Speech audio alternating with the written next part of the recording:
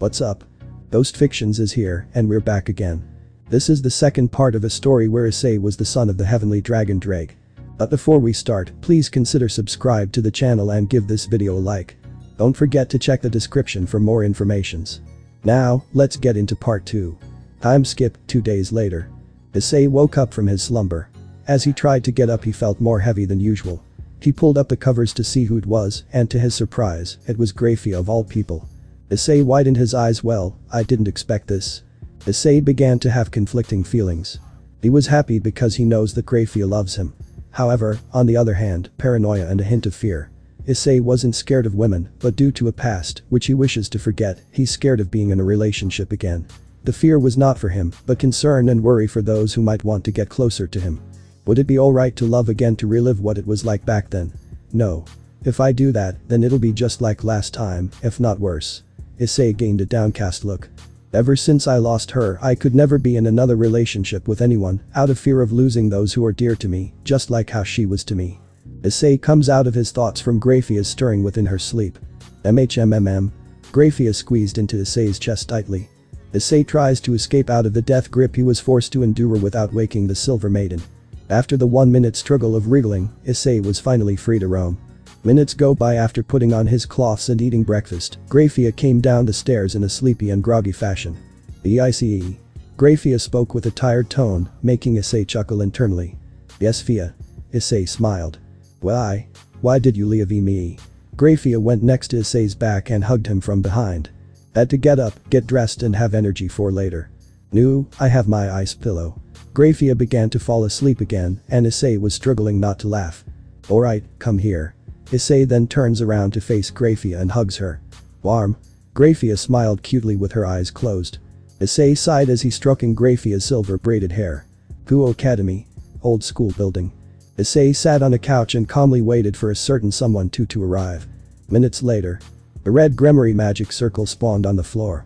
What came out of the, the circle was none other than the good old Sirzechs himself sporting a happy grin. Sirzechs, nice to see you again, been well I hope and how's Venelana? Hello master, yes I've been well and mother is fine as always. Anyway how about you? Sirzechs, I've told you many times, call me by my name, you know I'm not one for formalities. Anyway, it's been something. As you can tell I met your sister and her peerage, with pride if I might add. Rescued an ex-nun twice, and I've come to view her as my little sister.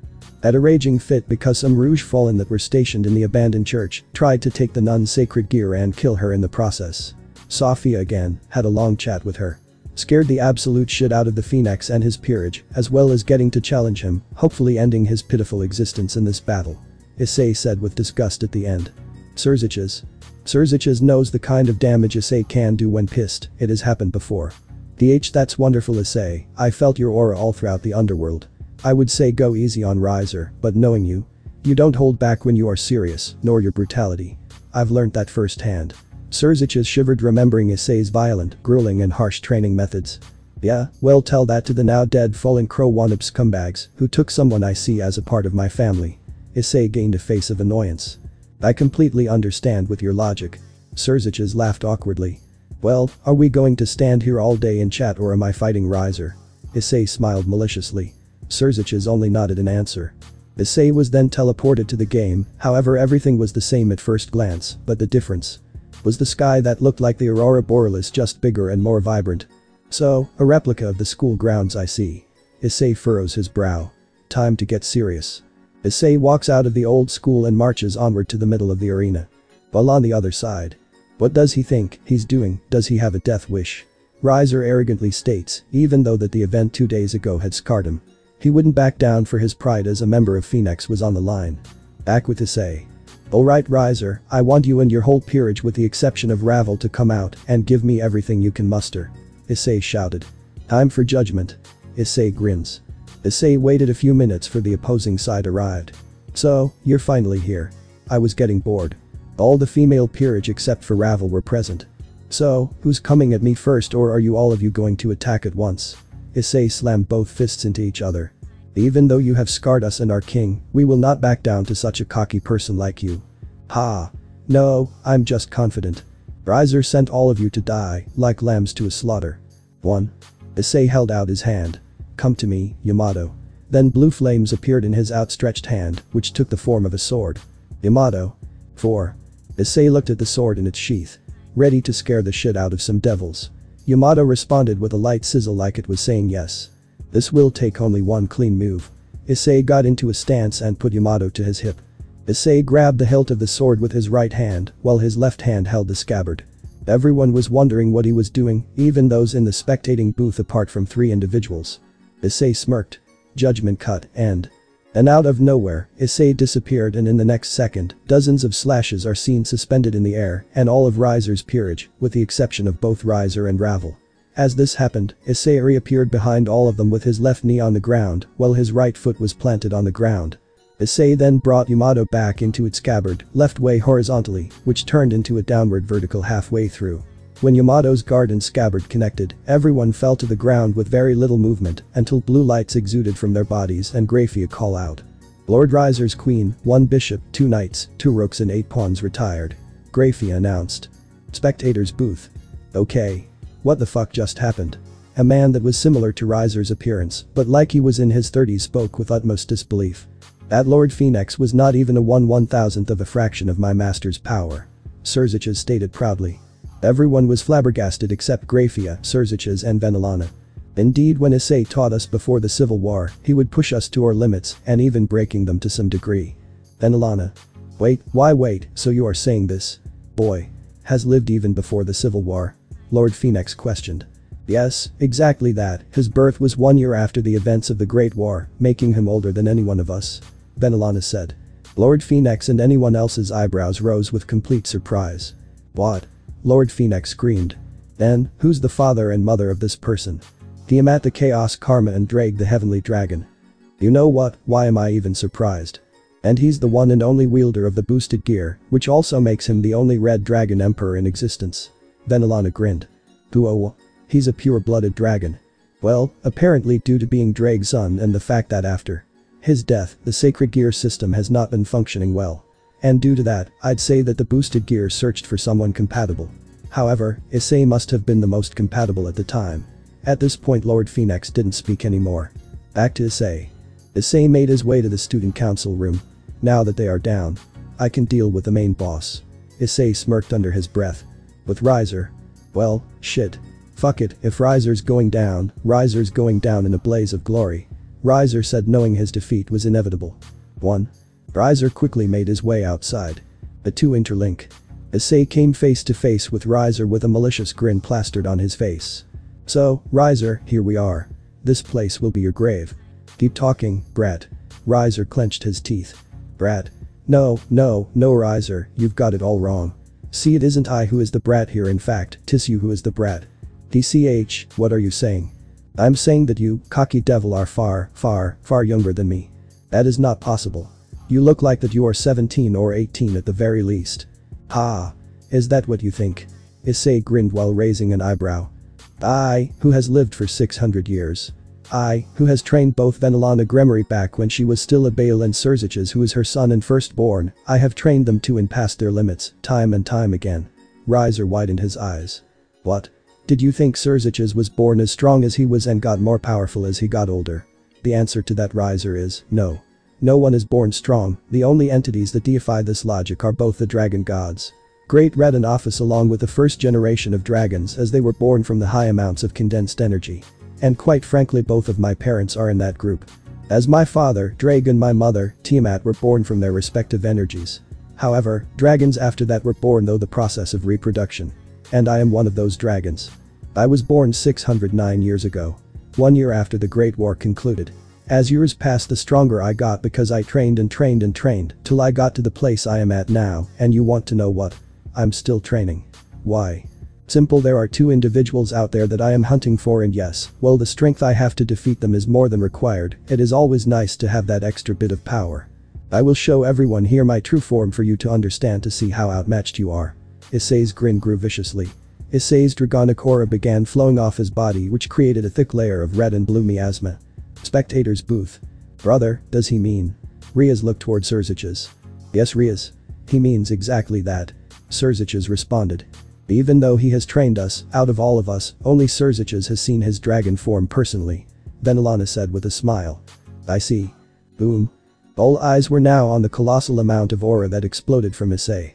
Back with Issei. Issei's raw power and aura was that strong it was tallying a 9 on the Richter scale. For those who don't know what the Richter scale is, it is a method for calculating the strength and size of an earthquake. The higher the number the stronger the quake. Boom. Issei grew his scales, teeth, claws, tail, and began to increase in size to a colossal amount. At the end of the transformation, Issei was now a staggering 80 meter dragon in height alone. Issei's dragon form. I absolutely love this picture. 3. DAHH. Everyone except Sirzechs couldn't even comprehend what just happened. Now they are lucky they didn't shit themselves. Riser other hand. I I I. Riser screamed his lungs out to the highest pitch he could possibly make like an infant's vocal cords on steroids. Brewer. Issei roared to the heaven with such ferocity it caused the whole structure of the school to collapse on itself. Now with buildings turned to rubble, Issei faced the phoenix. Riser. Issei shouted in a deep menacing dragonic voice which made all of the surrounding area quake. Issei got down on all fours to give Riser the sense of imminent death. Riser began to experience a painful heart attack, the only reason he hasn't dropped dead from the immense stress and fear is because his phoenix's hyper-regeneration that keeps reviving him faster than he could die. And the more he stared at the huge-ass dragon, staring directly into his demonic soul that was getting closer and closer with each passing second. Issei got closer with his predatory gaze. Issei grinned like an insane psychopath. Time skip, one hour later. Issei brutalized Riser in the utmost extreme way. Throughout the hour, Issei inflicted terrible mental damage to Riser's psyche via intense burning, deep scarring cuts and slashes, bone breaking, amputation and beheading, last but not least being crushed and exploded under violent pressure. While that was going on all of Riser's peerage who were in the hospital watching the scene unfold, every single member kept on heaving up all of their contents and passed out many times. Up in the spectators booth, Bria's and Sona's peerages had all purged their morning breakfasts, and if not all of Sona and her peerage fell unconscious as well. However, Akeno was the only one enjoying how brutal Issei is, she's practically wet in her undergarments, the feeling of labored breath, bright red flushed cheeks, and the urge to be dominated by the red and blue dragon. Rias, who was still conscious, barely, looked at Akeno with a WTF face. I know she's a ultimate sadist and all but, seriously. What in the name of Lucifer? Rias then looks at her brother, father and mother. All of them looked at her and shrugged their shoulders as to say who knows. 1. Back to field.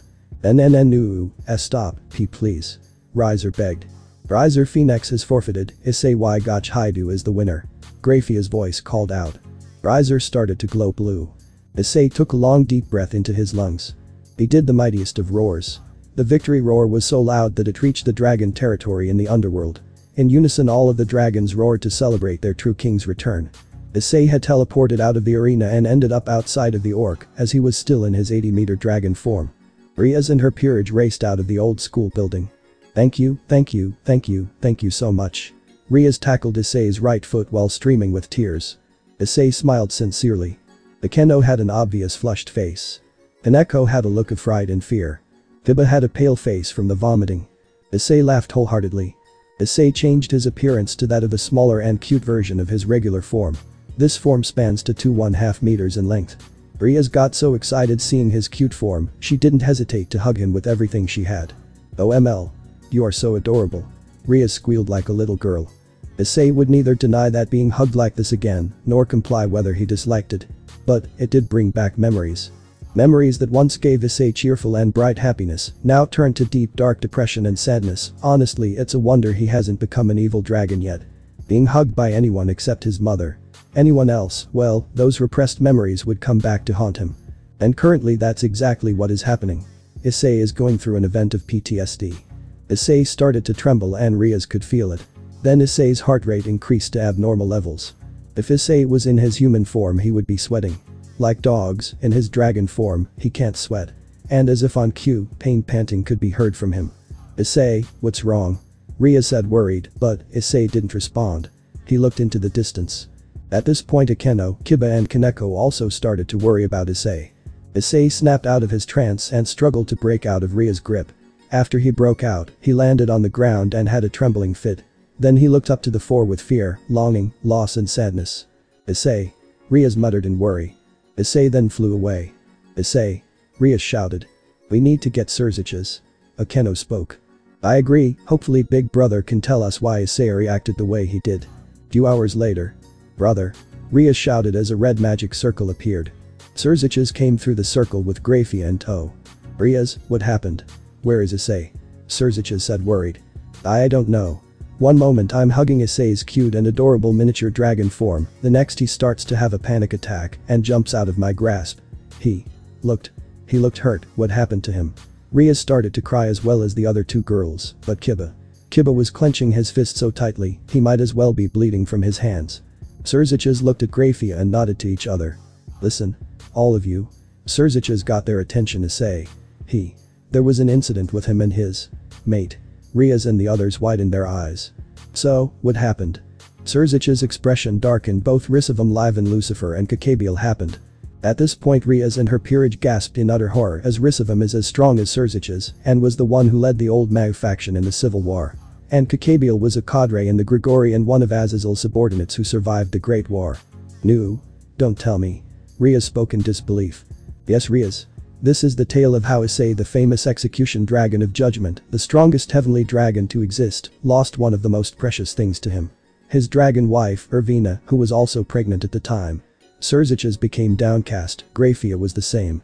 Rias and the others didn't know how to react.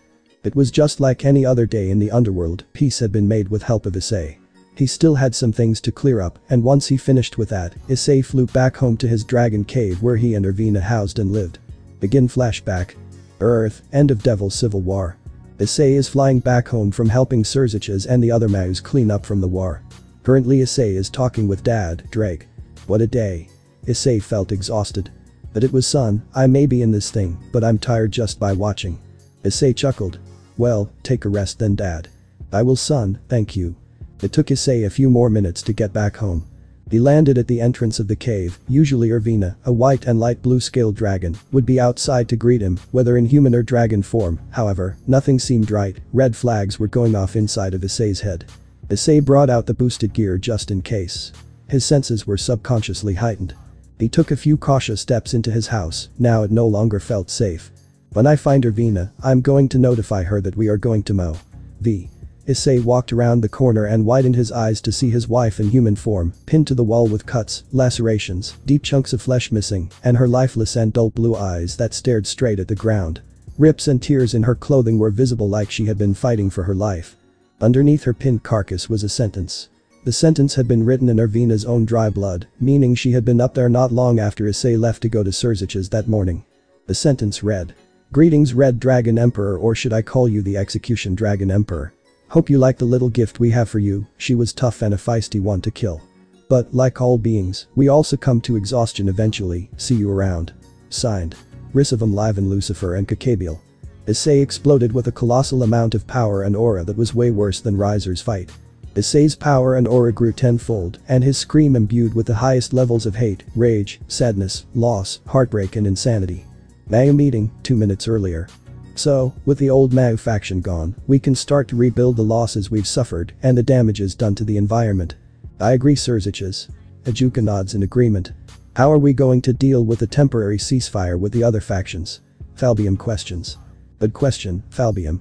I think sometime in the future, we should arrange a meeting with the leaders of the other factions to discuss peace options. Sirzechs responds. Peace would be the best option to take. Serafall voted. Ooh um. What was that? Falbium screamed. It's Master's aura. Sirzechs said worried. How's he this strong? Ajuka shouted. We need to get to say now. Sirzechs ordered. Heaven, two minutes earlier. How's things going on with the Devil's War? Michael questioned. Well, the war is over due to the help of the execution dragon. Uriel answered. Have no way to describe him, nor am I able to nab a pick. Same for Raphael. This is good, hopefully this means we can soon attain peace. The only female in the angels meeting was Lady Gabriel. I agree sister. Michael nodded. Boom. What is this power? Uriel panicked in fear. It seems the wrath of the execution dragon has been provoked. Michael shouts. Brother, I think we need to descend down to the underworld. Gabriel spoke. I agree. Even though it might damage the ceasefire we have. Grigori, two minutes earlier. Azazel was in his lab doing experiments on sacred gears as always. Shemhaz pass me that hammer would you? Azazel turned and pointed to a table. Sigh. Alright. But, what do you actually need this for? Shemhaz questioned. Well, I'm doing this little project and. Ooh um. Say. Azazel instantly knew who the aura belonged to. Azazel immediately stopped what he was doing and commanded Shemhazai. Shemhazai. Follow me, now. Shemhazai was surprised at the governor's outburst. Dragon territory, two minutes earlier. Tannin, sir. A dragon kneels to the other dragon. Um. Yes, what is it? Some of the female dragons have been wanting to visit the execution dragon. Um, I see. I guess it's alright as long as Issei is fine with it as well. Boom. Sir, ugh, what is this? It seems Issei has been triggered. I'm going to go see, Issei. Tannin teleports away. Outside. Sirzechs, Ajuka, Falbium, Serafall, Azazel, Shemhazai, Michael, Gabriel, Uriel, Raphael and Tannin were all present outside of Issei's cave. Azazel. Michael. Sirzechs said. Sirzechs, how's things going? Azazel responds. Things have been difficult. Look, if you need my help with rebuilding the Devil Society then only need to ask, okay. That's great and all. But, everyone felt Issei's power surge and the pressure it exuded, right? Tannin spoke with disinterest. Right. Well, let's go in the. Sirzechs got cut off when another titanic burst of aura came from the cave. Issei's scream was super loud. All of the 11 pushed up fighting against the overwhelming pressure. What is this pressure? Uriel shouted again. Somebody must have ticked Issei off to such a high degree, therefore creating this, As Azazel analyzed. We just need to get to master for now. Sirzechs suggested. They push on for several minutes. As they got closer and closer the pressure got worse and worse, which was really starting to take a toll on them. The pressure is strongest here, master should be right around. This. Corner. Sirzechs stopped with a look of disbelief and despair as everyone followed suit. What they see is Issei holding onto the deceased Ervina in his arms while kneeling on the ground. No one dare move a muscle. Minutes before they arrived, with Issei. Issei began to subconsciously walk to the dead and pinned woman. Issei proceeded to unpin Ervina from the wall and caught her lifeless corpse in his arms. Letting gravity do the work, Issei dropped to his knees with Ervina grasped in his embrace. How? How? How? How could this happen? She did nothing wrong. Issei's tears began to fall endlessly. Minutes went by with Issei sobbing in the girl's neck. Sirzechs and the rest appear. M. Master, what happened? Sirzechs tried to get closer, then they look at the message written in blood. So, they began reading. At the end they were disgusted. as Azazel more so, as Kokabiel a subordinate of his did this and teamed up with Rizevim no less. While Issei on the other hand had his hair shadowing his upper face covering his eyes. Issei without looking away from his now dead wife and unborn child. He stood having Ervina's body slide off of his knees and onto the floor. Then Issei began to speak in a familiar chant, but different than the Juggernaut Drives chant. Issei's aura begins to violently shake the ground, even create fissures. Meanwhile at the Orc. Rias and her companions were standing, with her sitting down in her club's office chair, arms posed on the mahogany desk. Ria's facial expression displayed that of seriousness and caution, this reason being there were two people wearing white robes of some sort. Everyone could feel a strong holy affinity radiating from an large object in special cloth on her back. Are you the devil that governs this town? The girl with dark blue hair questions in a serious tone. That is correct, my name is Rias Gremory, and why are two church followers here in my territory? Rias glares at the girl sitting on a couch. I am. The blue-haired girl got cut off when they hear the doors of the orc open. Okay Rias, I have had a bit of time to myself and have reconnected to my, wouldn't you believe it, dead wife. Everyone except Xenovia widened their eyes. Issei had his eyes closed the whole time. But, when he opened his eyes, he paused. Am I interrupting anything? Rias shook her head. No Issei, you're not interrupting anything. Actually, you're on time. On time for what exactly? Rias pointed at the two exorcists. These two are followers of the church and Issei. The girl with chestnut hair launched herself at Issei who caught her. Hello Irina. Issei looked down at Irina and smiled at her. Irina started to tear up and nestled her face into Issei's chest. Issei, Issei, Issei, Issei. There, there Irina. How have you been? Issei's smile did not waver. Issei, I've missed you. I've missed you so much. Irina hugged Issei a lot more tightly. Rias, being the jealous type she is was in envy at how lovey-dovey Irina was being towards Issei. Issei. How do you know this girl? Irina. Issei looked at Rias. Well 10 years ago, when me and my mother moved into Kuoh we became neighbors with Irina and her parents. Despite our massive age gap, Irina took to me exceedingly quickly. I remember that her father, who was an exorcist at the time, was working for the Vatican. Due to Irina's high affinity to the Christian religion, Taji, her father, told me and my mother that in a couple of years that they would move to Italy for Irina to become an exorcist. I told Taji that it was Irina's choice to make, which he understood. So I asked Irina in the future that did she want to be an exorcist to which she said yes. From then on, until she moved away, I would train her so she would be ready for the church. How did you train her? Rias was intrigued and sipped a bit of tea. I put her in a life or death situation. Rias started to have a coughing fit. Cough. Wah. Cough. At, what? Rias coughed out. You heard me. I put her in a life or death situation. And that was? Irina looked at Ria's. He put me next to an active volcano. Ria's soul left her body. Oh, no you don't get back here. Issei grabbed Ria's soul before it could float away and fused it back in her body. So, Irina. Why are you here? Not that I am not happy seeing you, it's just why didn't you text me you was coming? I wanted it to be a surprise. Irina grinned. You can be happy that it did surprise me. So, why are you here? I know it's not just to say hello. Issei grinned. Wheel. Irina grew embarrassed demeanor. The blue-haired girl cut in. We are here to recover the three Excalibur fragments that were stolen from the Protestant, Vatican and Orthodox churches. May I know your name? Issei looked at the girl who was still sitting down. Xenovia, Xenovia Quarta. Ah, yes you're the girl that Griselda took in. Xenovia gained a pale look on her face. Why you know Lady Griselda? Xenovia tried to regain her composure. Yes, I do in fact. As a favor to Michael, he wanted me to train Griselda in everything. Ranging from CQC, swordsmanship, magic and even long-range combat, Xenovia was thrown for a loop. No wonder why she is the way she is in training. Oh? What is she like? She is a training fanatic. She pushed me to my absolute limits. Issei's grin grew wider. Trust me that is like a baby trying to walk type training. If it were me I would push you too near the limits of death. Xenovia gulped. It would be near impossible to be compassed now. They anyway. T the culprit who stole the swords. Is Kokabiel. Issei grin fell immediately. Rias and those who know of his past look towards Issei. And he is in this town. Xenovia continued. Flashbacks repeated in his mind. Issei. Rias grew concerned. The low bellowing growl was resounding from Issei. The Kabiel is in town. I'm going to slaughter his very existence. Irina was confused. Issei never told her of his past so she doesn't know. Erm, why is Issei so angry? Long story. Rias said. I hope that you won't get in the way this is business for the church and we require you to not intervene. You think that we would side with the fallen? Rias became annoyed.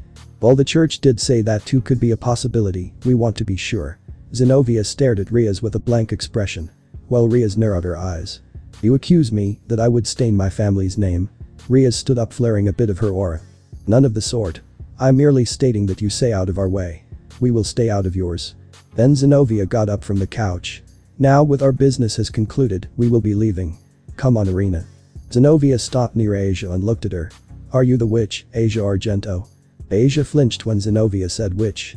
Why yes. When I first stepped foot in here. At first, I didn't recognize you. However, being here for a while the more and more, I was reminded.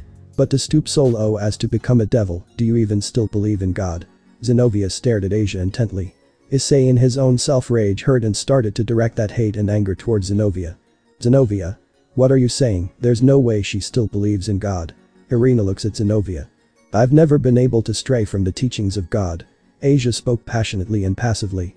Then I shall cut you down in the name of our God. Xenovia reached for the object on her back. Xenovia was about swing her large sword downwards. However, before she even got halfway down, she was grabbed by the wrist. I wouldn't do that if I was you. Issei's deep voice bellowed out threateningly. Everyone looked towards Issei and the stern yet pissed off face. Eyes glowing with fury, teeth sharpened to the point. Asia stood behind Issei for safety and protection. You okay, Asia? Issei tilted his head to Asia. Just scared is all. Asia looked up into Issei's entrancing eyes. Nodding his head. Issei looked towards Xenovia and with an emotionless tone. Apologize. Why should I? She's a witch, a heretic turned devil. By rights, I should grant her mercy. Zenobia said. This ticked off Issei to a very high degree. Inside the boosted gear. Yufufufu, looks like the girl's done it now. Hervina giggles. Indeed, people who piss off my son are either never the same again or just 50 feet into the ground. I'm sure you already know as you've seen that plenty of times. Ddraig spoke with amusement. Back with the orc. Alright, if you want to play it the hard way that's fine by me, I think it's time I give you a brutal lesson. Issei spoke in an ominous tone. Good, I'll take part as well. Kiba spoke up, he had been eyeing the Excaliburs since they arrived with hate and rage. And? Who are you? Xenovia narrowed her eyes at Kiba. I am your senior, but apparently I was deemed a failure. Kiba glared at the blade in Xenovia's hand. No Kiba, you are not in the right state of mind to fight. Issei glanced over his shoulder to stare at Kiba. Kiba glared at Issei, who in turn glared right back. I will have my vengeance and avenge those who helped me escape. One way. Or another. Kiba's eyes screamed bloody murder. Really, and what of the family you and they went through? Issei narrowed his eyes. Both Rias and Kiba widened their eyes. How do you do know of the project? Kiba materialized a sword and swung it at Issei. Issei. Rias shouted out in worry. Issei, however never moved, blocked nor evaded. Dink crack break clang. Kiba widened his eyes. Seconds pass and he becomes even more enraged. Kiba started to create more swords with many different attributes. Yet just like the first blade they all broke leaving Kiba an exhausted and panting mess with sweat. Issei stood still with a disappointed and annoyed expression. Kiba. Rias shouts angrily. Issei lets go of Xenovia's wrist and holds his hand to Rias. Rias, let him vent. He's held the anger in for too long. That's why I stood and took the hits. Issei looks at Rias with a warm gaze. Rias took a deep breath in and okay. She then sat back down in her chair. You finished. Issei whipped his head back at Kiba and returning his stern and serious face. And no, never Pant will be Pant done. Not until Pant I achieve Pant my vengeance for Pant those who sacrificed their lives for Pant mine. Um, I see. Then what after that? What after you achieve, that is if you achieve your desire for revenge. After all, Rias will be forced to label you as a stray, and we both know how painful that will be for her. It will also have to be, most likely Rias or Sona, that puts you down like the rabid animal or devil in this case, will become. Issei closed the distance. They who sacrificed themselves for you would have been for nothing. They would have died in vain. Imagine the pain, the tormented faces, the tears that they shed, the screams of the ones that helped you escape, instead of a free-for-all to survive. Issei's serious and stern look turned to a savage and menacing grin. And don't get me started with the satisfaction of destroying the fragments. That happiness will not last, plus the fragments can be rebuilt, so that effort will be a waste of time and energy. However, I do know the man that led behind the scenes of the project. Issei switched back to his serious and stern form. Don't talk about them. Kiba began crying as he summoned another sword and swung at Issei once again, and like the rest it shattered, Kiba lost his grip and the hilt slid out of his hands. Kiba fell to his knees in despair. As I was saying, your family that endured the torture gave their lives, so you could live. And you're just going to throw that away. Grow up, Kiba and think. Issei bent over to Kiba while still standing with both index and middle fingers on his temples. I'll deal with Kiba later. For now. Issei set his sights back on Xenovia, who sweat dropped. Allow me to. Educate you. Issei crack his knuckles with a vicious shit-eating grin. Bang. Xenovia sent through the wall to the outside.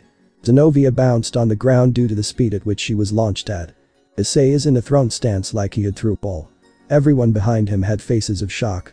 Issei leaped out of the hole and dropped down to the grass. All the while, Xenovia struggled to steady herself and into a fighting stance. Lesson 1. Issei spoke and vanished before reappearing. Never instigate a fight you can't win. Otherwise it will lead you to your death. Issei sucker punched Xenovia in the gut hard, with enough force to send her in the air, vomit blood and winding the exorcist, all the while holding back a substantial amount. Lesson 2. Issei appeared above Xenovia. Issei said. Don't underestimate or overestimate who you are fighting provoking. Before clasping his hands together and swings downwards, hitting her in the back and sending her into the ground. Xenovia impacted the ground, creating a large crater. When the dust cleared, Xenovia could be seen suffocating on her own blood. But luckily or unluckily, Issei healed her. Just to be punched in the face and sent grinding in the grass once again. Lesson 3. Issei sped to Xenovia. Don't discriminate others. Asia didn't know the person she healed was a devil. Oh, and I know the devil that she healed and what his intentions were. Asia widened her eyes. Issei? What do you mean? Asia said with surprise. Asia. The devil you healed was the younger brother of Ajuka Beelzebub. Rias widened her eyes. Wait. Diodora. As in Diodora Astaroth that keeps to himself. Rias said. Yes, him. Issei stood over the beaten and bloody Xenovia. But. He's kind and friendly. Rias stood confused. Issei began to laugh which creeped everyone out. That's exactly just what he wants you to see. However, that is a facade. What he doesn't want anyone to see, even his parents and brother, is that he has a nun fetish. A bad one at that. Issei stared darkly at the group. H how do you know this? Rias felt shivers going down her spine. Michael hired me to find out why a bunch of holy maidens were being excommunicated randomly throughout the globe. Within the past 10 years, 15 holy maidens had to be excommunicated. One of them being Euasia. However, at the time that we met in Italy, I was on a mission. Asia took a few steps back and fell onto her ass as she started to recall the events. Flashback. Italy Vatican. Like I said, a year ago, I was tasked by Michael to uncover why over the past decade, holy maidens were getting excommunicated randomly and went missing straight after their excommunication. So, I had to track down why the maidens were getting excommunicated. I pinpointed that a single individual was responsible. However, I also tracked him down, as well as the next target to be excommunicated. Issei had tracked the next target to Italy, so he teleported to Vatican City.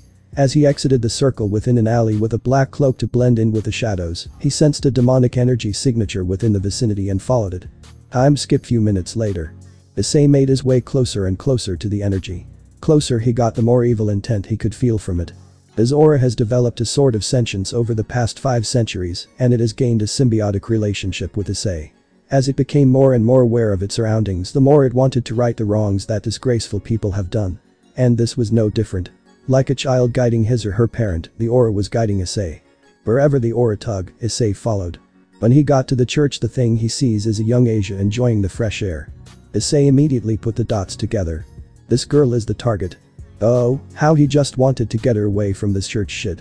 But, he has a job to do, he needs to use her as bait, and that does not sit right with him at all. Wait, you had to use Asia as bait. Rias' voice was said. Yes, I had to, otherwise I would have made myself known, unwillingly. Sorry for using you Asia. Issei responded. No, it's fine Issei, I forgive you. Issei kept his distance and reeled in his aura. However, Asia came closer. Oh, hello. Asia grinned happily and joyfully. Issei not wanting to be rude spoke. Hello, there little girl. I'm Asia, what is your name? Asia's energetic personality made Issei chuckle. P, didn't your parents ever tell you not to talk to people you don't know? Um, I don't have parents. Asia's mood sullied for a moment.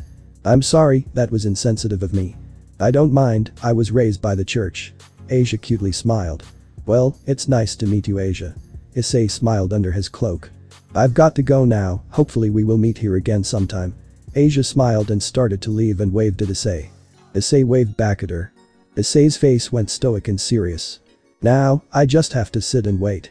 Issei watched Asia pass a corner. Issei then jumped to the rooftops. Time skip. Issei was running along the rooftops undetected while keeping an eye on the young Asia. Asia had made her way back to the church after doing a few errands. Issei felt relief seeing her enter the church. Even so, Issei didn't move from his position. He waited and waited and waited. For hours felt like months. However, after waiting for so long, Issei caught a glimpse of a dark green-haired man in a cloak that was just as dark green as his hair approached the church grounds. Issei narrowed his eyes. This person's aura was demonic in nature. Staring at the person intently, Issei witnessed the person reached in and pulled out a blade. A second later, he plunged the blade into his torso, then dragged it down from his left shoulder to his right hip. He made the blade dematerialize, then he slumped to the floor. Issei gained a face of disgust and unbridled anger. But, Issei needed to not lose control of his emotions, because one wrong move could cost him this mission, and maybe more. Issei only had to wait a few more minutes before Asia came out of the church doors and ran up to the devil. Issei also caught a fellow church member spying on the two of them around the corner. Asia healed the devil, and said devil stood up and opened his devil wings, to put Asia was shocked was an understatement. The devil then took off and flew away. While this happened to say also saw the church member ran away to tell the pope. But, that was the least of his worries. For right now he needed to follow the, devil. the devil. Silently unfolded his wings and flew after him. Time skip, back alley. Issei saw the devil enter an alleyway, but didn't follow through. Instead, he thought of an ingenious idea. Issei decided to to cloak himself with an invisibility spell. After the spell was applied he made his way through the alleyway and caught up to the devil. Whatever he was doing it was not good. The cloaked figure said, Oh, Asia and now that you are going to be excommunicated, you will be all mine to do with as I please. But now I must tend to my needs. Issei couldn't see, but he could feel a devilish and evil smile.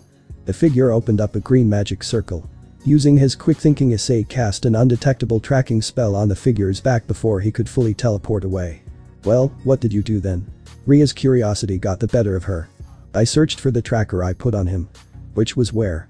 The Astaroth territory. Specifically the Astaroth mansion. Ddraig spoke up with disdain in his mouth.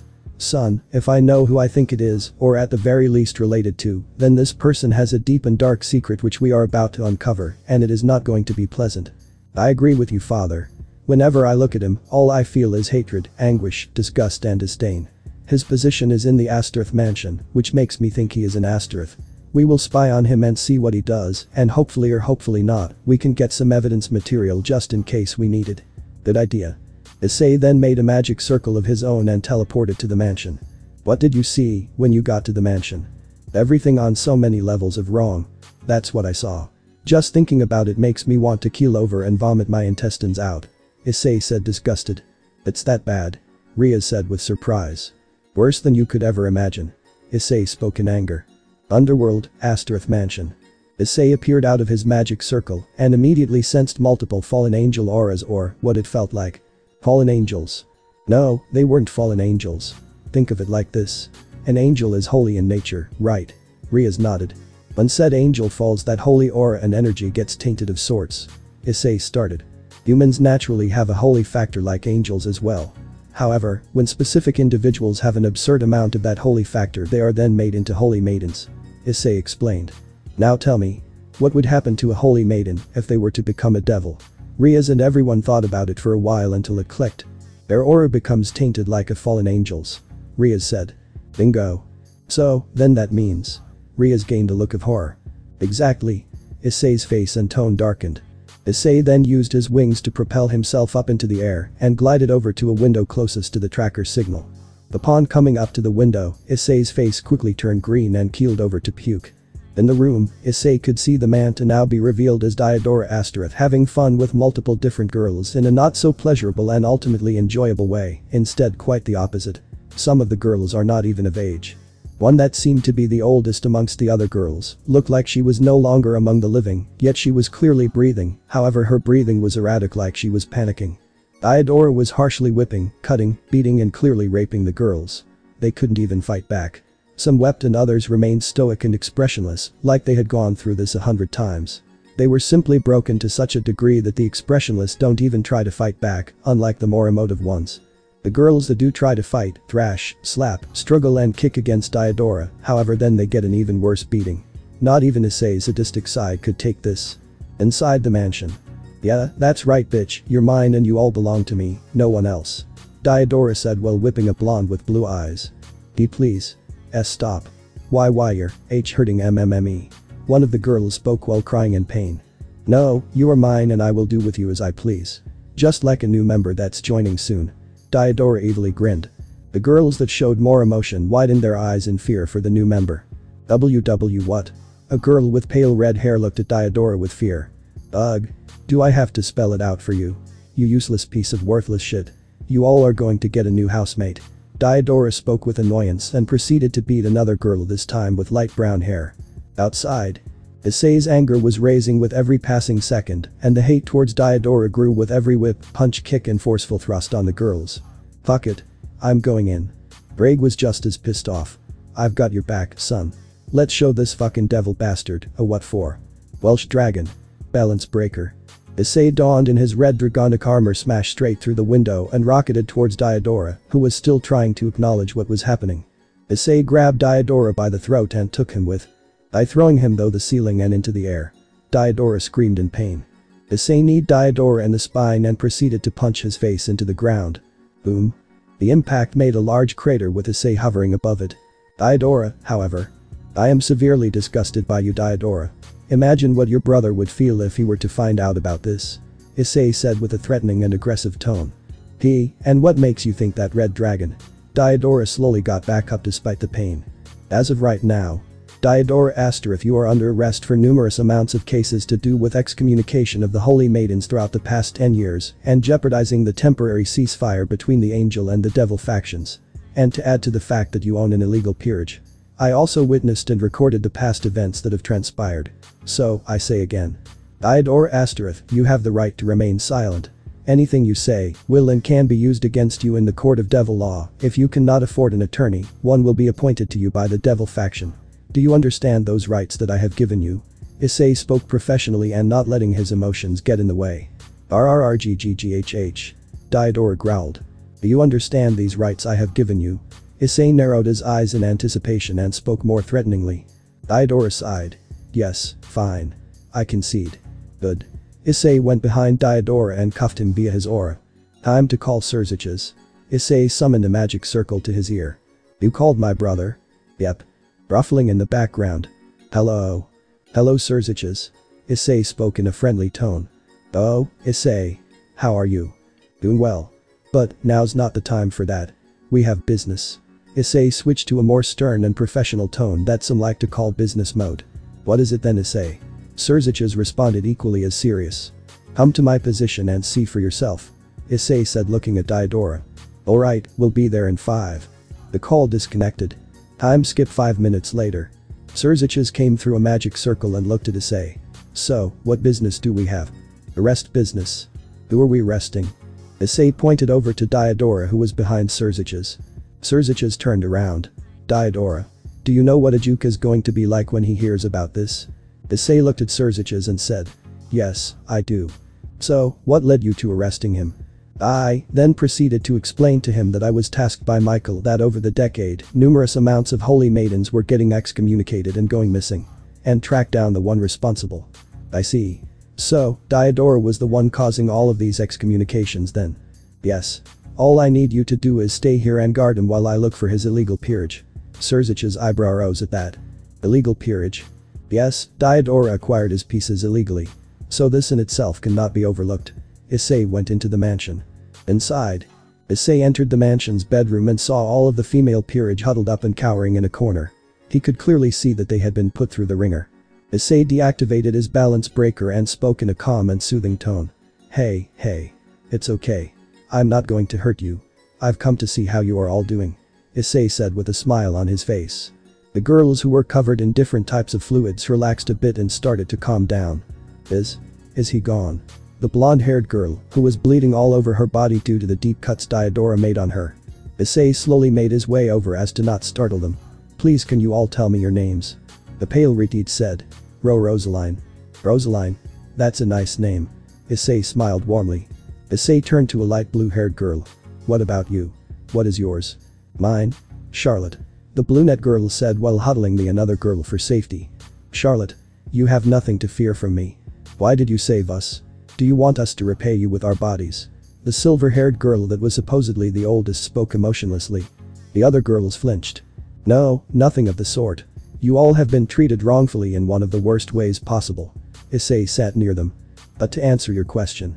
I am here because I was tasked to find out by Michael why over this decade multiple holy maidens were having to be excommunicated and after went missing. And I pinpointed that a holy maiden by the name of Asia Argento was the next target. Issei showed a hologram of Asia. She looked so innocent. The silver-haired girl stared at Asia's hologram. Given the amount of aura you give off, I'd say you are the queen piece. Yes, I am Master's queen. Oh, that's not going to do. We are going to get that master servant thing out of your head. From this day forth none of you girls are Diodora's playthings. Issei stood back up. Issei put his hand forward and the girls thought he was going to hurt them. What are you doing? I'm going to say this now. This is going to hurt. Do dad. Issei gave his father the signal. Purge. Dragonification. Purify. Ddraig roared out. All of the girls started to glow and scream in pain. Seconds later, their pieces fell to the floor. What? Just happened. My. My body. It feels. Different. Especially down here. The silver-haired girl said with a bit of emotion and checked her body. That's because you all are dragons now. Me and my father have repaired your vaginal walls, therefore you all are now virgins once again. All of you are able to pick and choose who you all deem worthy. Everyone even the silver-haired girl widened her eyes in shock. Thank you, thank you, a million times thank you. Every one of them said in unison as they all bombarded Issei with hugs.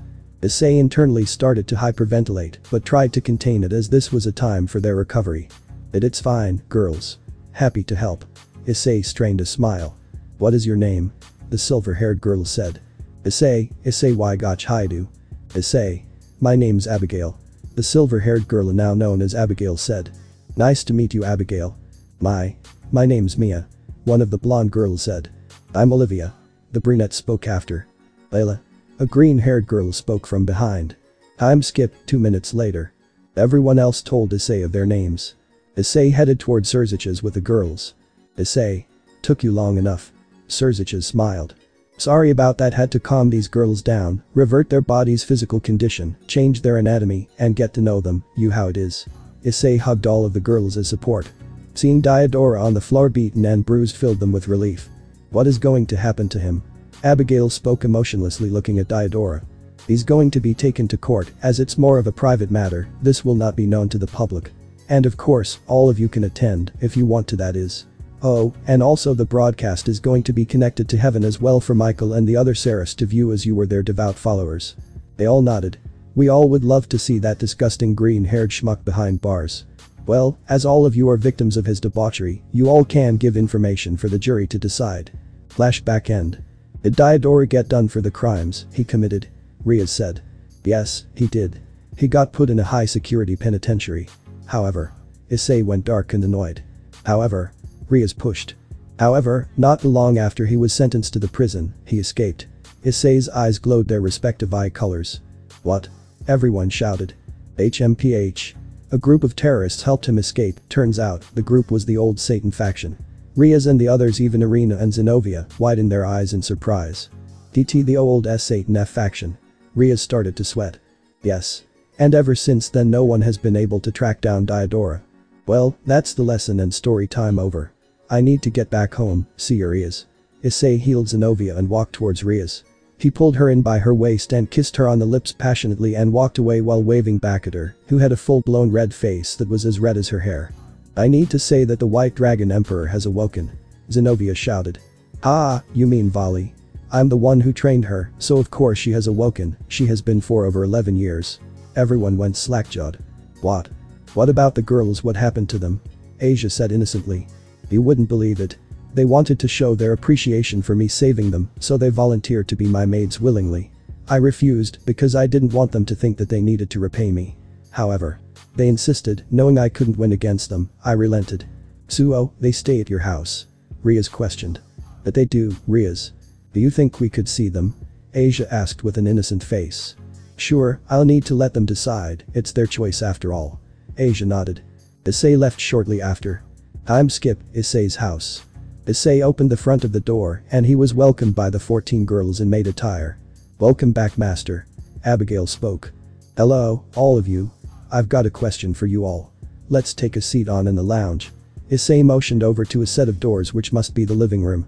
Issei and the others walked in and sat down. What do you need to talk to us about master?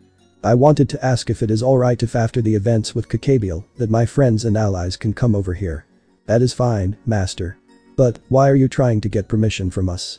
Abigail looked quizzically at Issei. Well, it's because it concerns you girls. What do you mean? You remember Asia? The girl that was excommunicated like all you. They all nod. Well, Rias Gremory, who is Sirzechs' little sister took her in after she arrived in Kuoh. So, she's also a devil. Yes, however, Rias' family treats their servants with love, respect and kindness. They all wanted to see you all. Okay, we will allow it. But, did you tell them how we got here? Yes, I told them. Asia couldn't remember who she healed. So, I told them it was Diodora. And what he did to all of you. All the girls became downcast at the memory.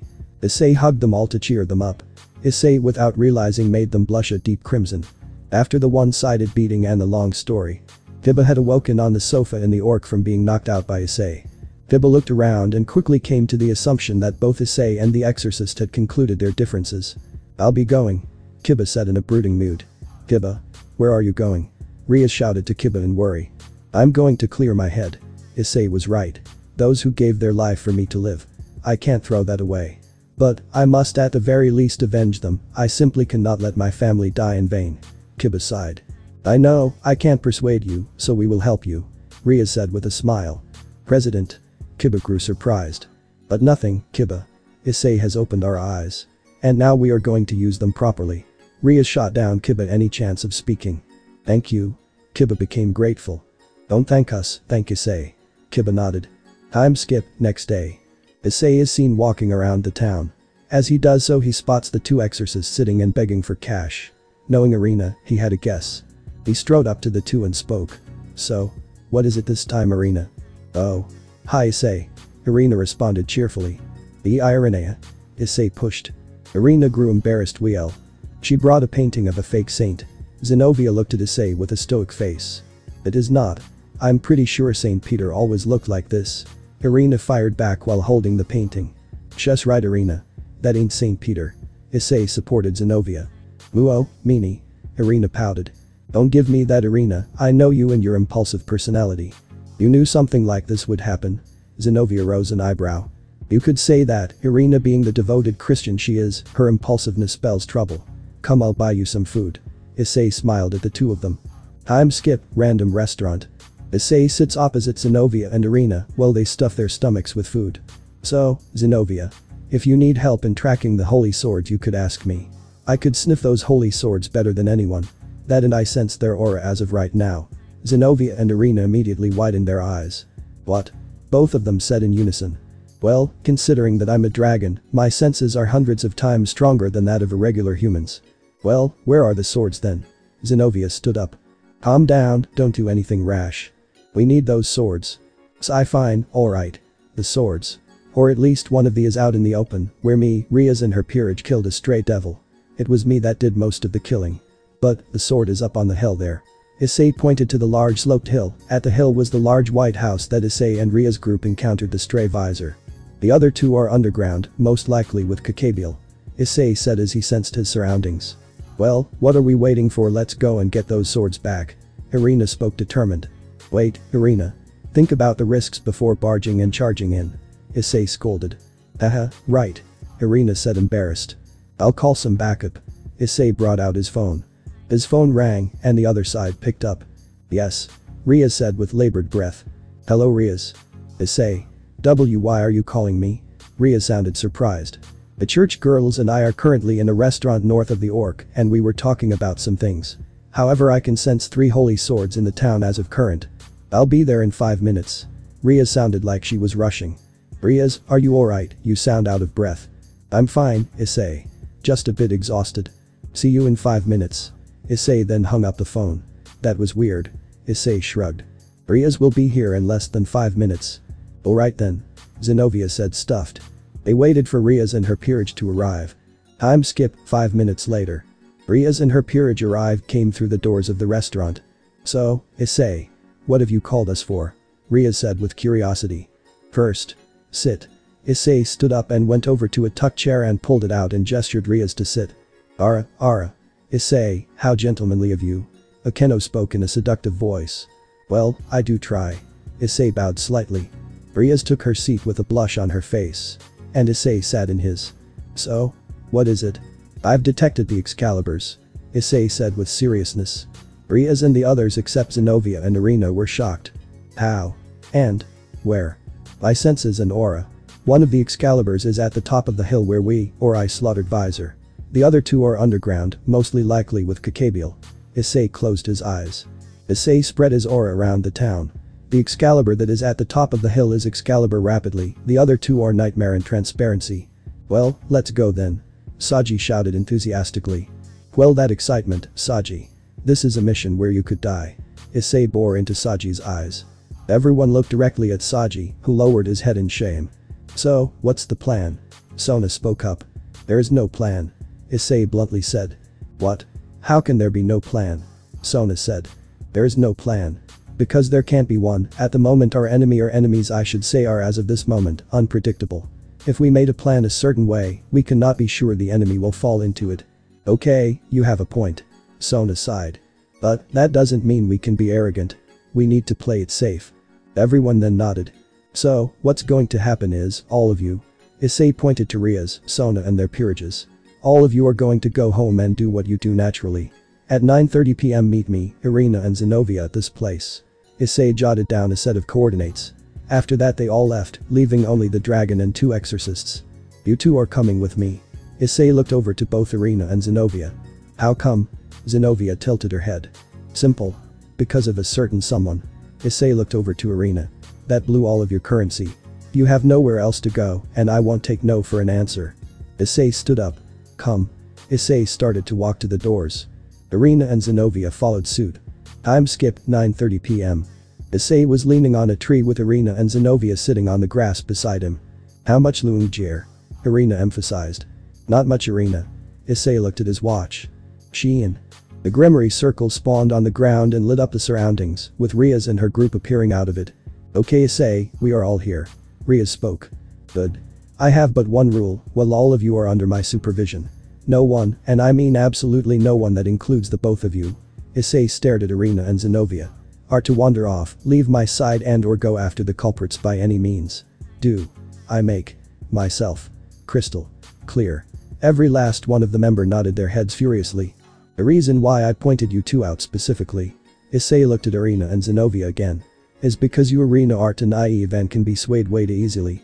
Xenovia, you are too impulsive and that impulsiveness will be what kills you and probably Irina as well. So, I am saying this to the both of you more so than the others, because I have a feeling that if the enemy flees then you, Xenovia will give chase impulsively, and Irina will follow blindly. Rias and Sona with their peerages look at Issei with stupefied faces. We have a job to do, come. Issei started to walk the way to the high-class building, with the others coming out of their days and followed shortly after. I'm skip, 5 minutes later.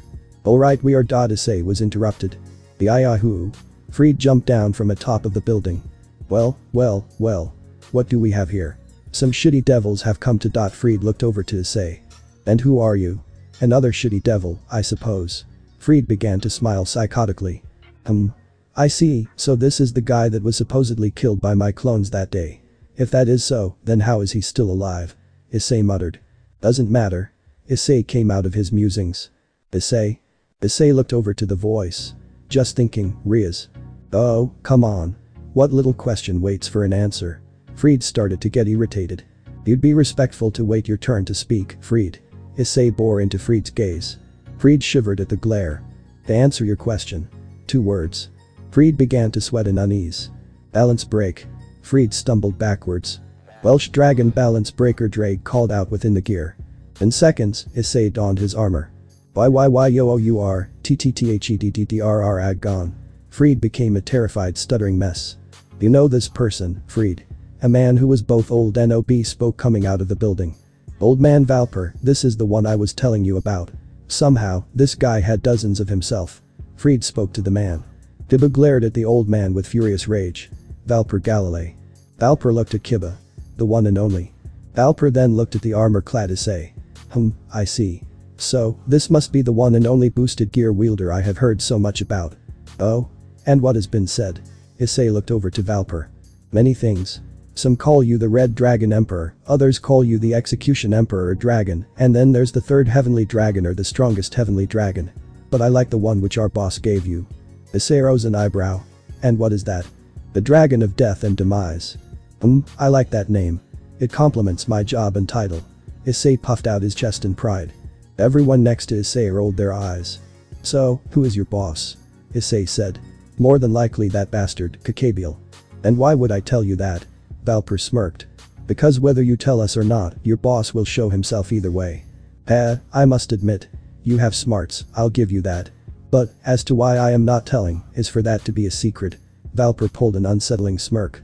HMPH, fine by me. Issei shrugged. Kiba you can handle Fried as a way to quell that growing anger of yours. Immediately after those words were spoken, Kiba launched himself at the insane ex-exorcist. Issei. Why did you let Kiba fight him? Rias said with an irritated tone. Simple, I'm helping him. Issei stared at the two sword wielders fight. How is that helping him? Rias said. You wouldn't know Rias because you never even tried to help him. Hell. You didn't even try to help heal any of your team's personal problems and past experiences. Leaving them to wallow in despair with it ever growing. Issei continued to keep staring at Kiba fighting Fried. Ibu but. Rias begins to get nervous. But. Nothing, Rias. Issei sharply spun his towards Rias as his helmet unfolded. You left them calling out to you for help, yet you never did anything to save them from their depression. You, who was constantly thinking on how to get out of your marriage. You didn't even try to help yourself when you learned of the arrangement. You never trained, you never trained them either. The only thing that you did was sit on your ass hoping that you could get a strong peerage member to get you out of the engagement. Rias was crying at the end. Akeno and Koneko both felt bad for her, yet at the same time they also came to a sudden realization. Did you have to do that Issei? Sona spoke pushing her glasses up with her middle finger. Had to be said. She needs a reality check. Issei proceeded to turn back to Kiba and Fried. Kiba looked worn out, while Fried on the other hand was practically fine. That's enough Kiba. Issei started to walk towards Kiba. No. I still need my revenge. Kiba shouted in rage. Sai fine, you leave me with no choice. Issei's helmet folded back concealing his face. Issei with a slight lean forward disappeared within a blink of an eye. Everyone including Fried looked around to see where Issei was. Only to be hearing a thump colliding with the ground. Everyone looked to where the sound came from, only to see Issei holding an unconscious Kiba in a bridal-style carry. Issei took Kiba over to Rias and the others. This wouldn't have had to come to this if you just helped them out, Rias. Issei planted Kiba down next to the others. While Rias lowered her head in shame. You two, you're up. Issei looked at the church duo. Irina and Xenovia nodded. Breed Selzen, for the actions against the church and all the innocents you have killed, your judgment is death. Xenovia grabbed a hold of Excalibur Destruction and pulled it off her back and aimed it at Fried. Ahahaha. So, the two church bitches come to face me. Fried laughed maniacally. It was then Valper spoke up. Too late Fried, boss wants us to retreat. You'll get your chance. Fuck. Fried screamed in anger at being denied his fun. Whatever, no matter. I will see you all, when we can. But, for now we must leave. See ya, shitty devils. Fried took out a smoke pellet and threw it to the ground. After th. Xenovia felt a shiver go down her spine. What did I say about chasing after them? Issei's eyes turned hard and cold. Making everyone shiver. But. Xenovia tried to retort. Definition of tried. I said to not play cat and mouse, and what were you about to do? Go and play cat and mouse. Issei walked up to the two exorcists, with every word gaining more and more frustration and anger. Xenovia and Irina flinch in fear. While the other spectators felt pity. The both of you are going to go back to the house and think about your actions. Issei looked over to the Gremory and Sitri groups.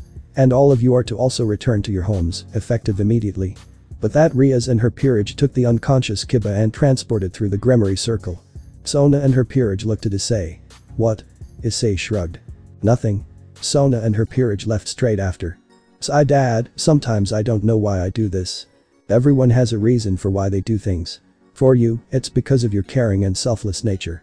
Even though, we as dragons are naturally selfish, there are those that are like you, which are very rare and unique to come across or even to exist. Ddraig felt proud of his son. I guess. Issei said as he released his wings.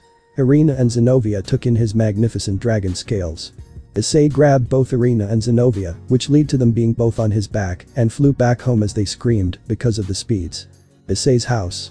It only took Issei three minutes to fly to his house with Irina and Xenovia on his back. He slowed down his pace, which came to a halt at the front of the set of doors to his house. Alright, when you go in. I must warn you. Not you too, but as a warning. The girls that I house here are under my protection. If I see any, and I mean any weapons drawn at them, I will kick the both of you out. They mean no harm. Have I made my point clear? Issei only locked eyes with the door, not moving. Yes. We understand perfectly. Xenovia spoke confidently with Irina giving a reassuring nod. Good. Issei proceeded to walk up to and open the doors. Welcome back, master. All of the ex-holy maidens in Maid get up welcome to say. Good evening girls. How are all of you holding up after I left? Irina and Xenovia gained expressions of shock and disbelief. We are doing well master. Rosaline gleamed in happiness. That is good to hear Issei smiled. Who are they master? Abigail pointed at the two exorcists to which the other girls in maid attire also looked to where she was looking. Issei walked over to Irina and Xenovia and put his hands on both of each other's shoulders. This is Irina, a friend of mine who I met when I first arrived in Kuoh with my mother.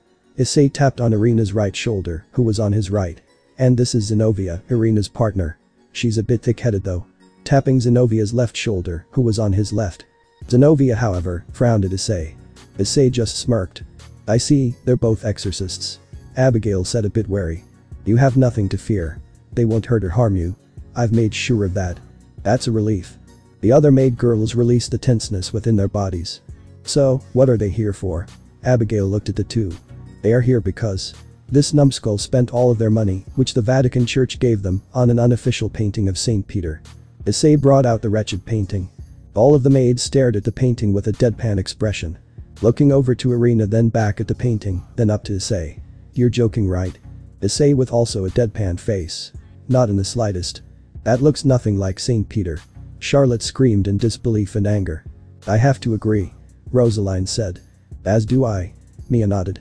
That's what I said. Xenovia spoke up. I told Irina that it looks nothing like St. Peter. Yet, she insisted that it was. So, infuriating. All the girls in maid attire gave Xenovia a hug, to which she appreciated. Thanks. You're welcome. Abigail and all of the others smiled. Well, now that all of you are up to par with one another, the both of you go and have a shower. Then think about your consequences of your actions. Issei said with a stern voice. Okay. Irina slumped and Xenovia followed. What did they do? Abigail questioned. Almost went after two individuals, to whom I said not to. Issei's sternness held firm. Who are they?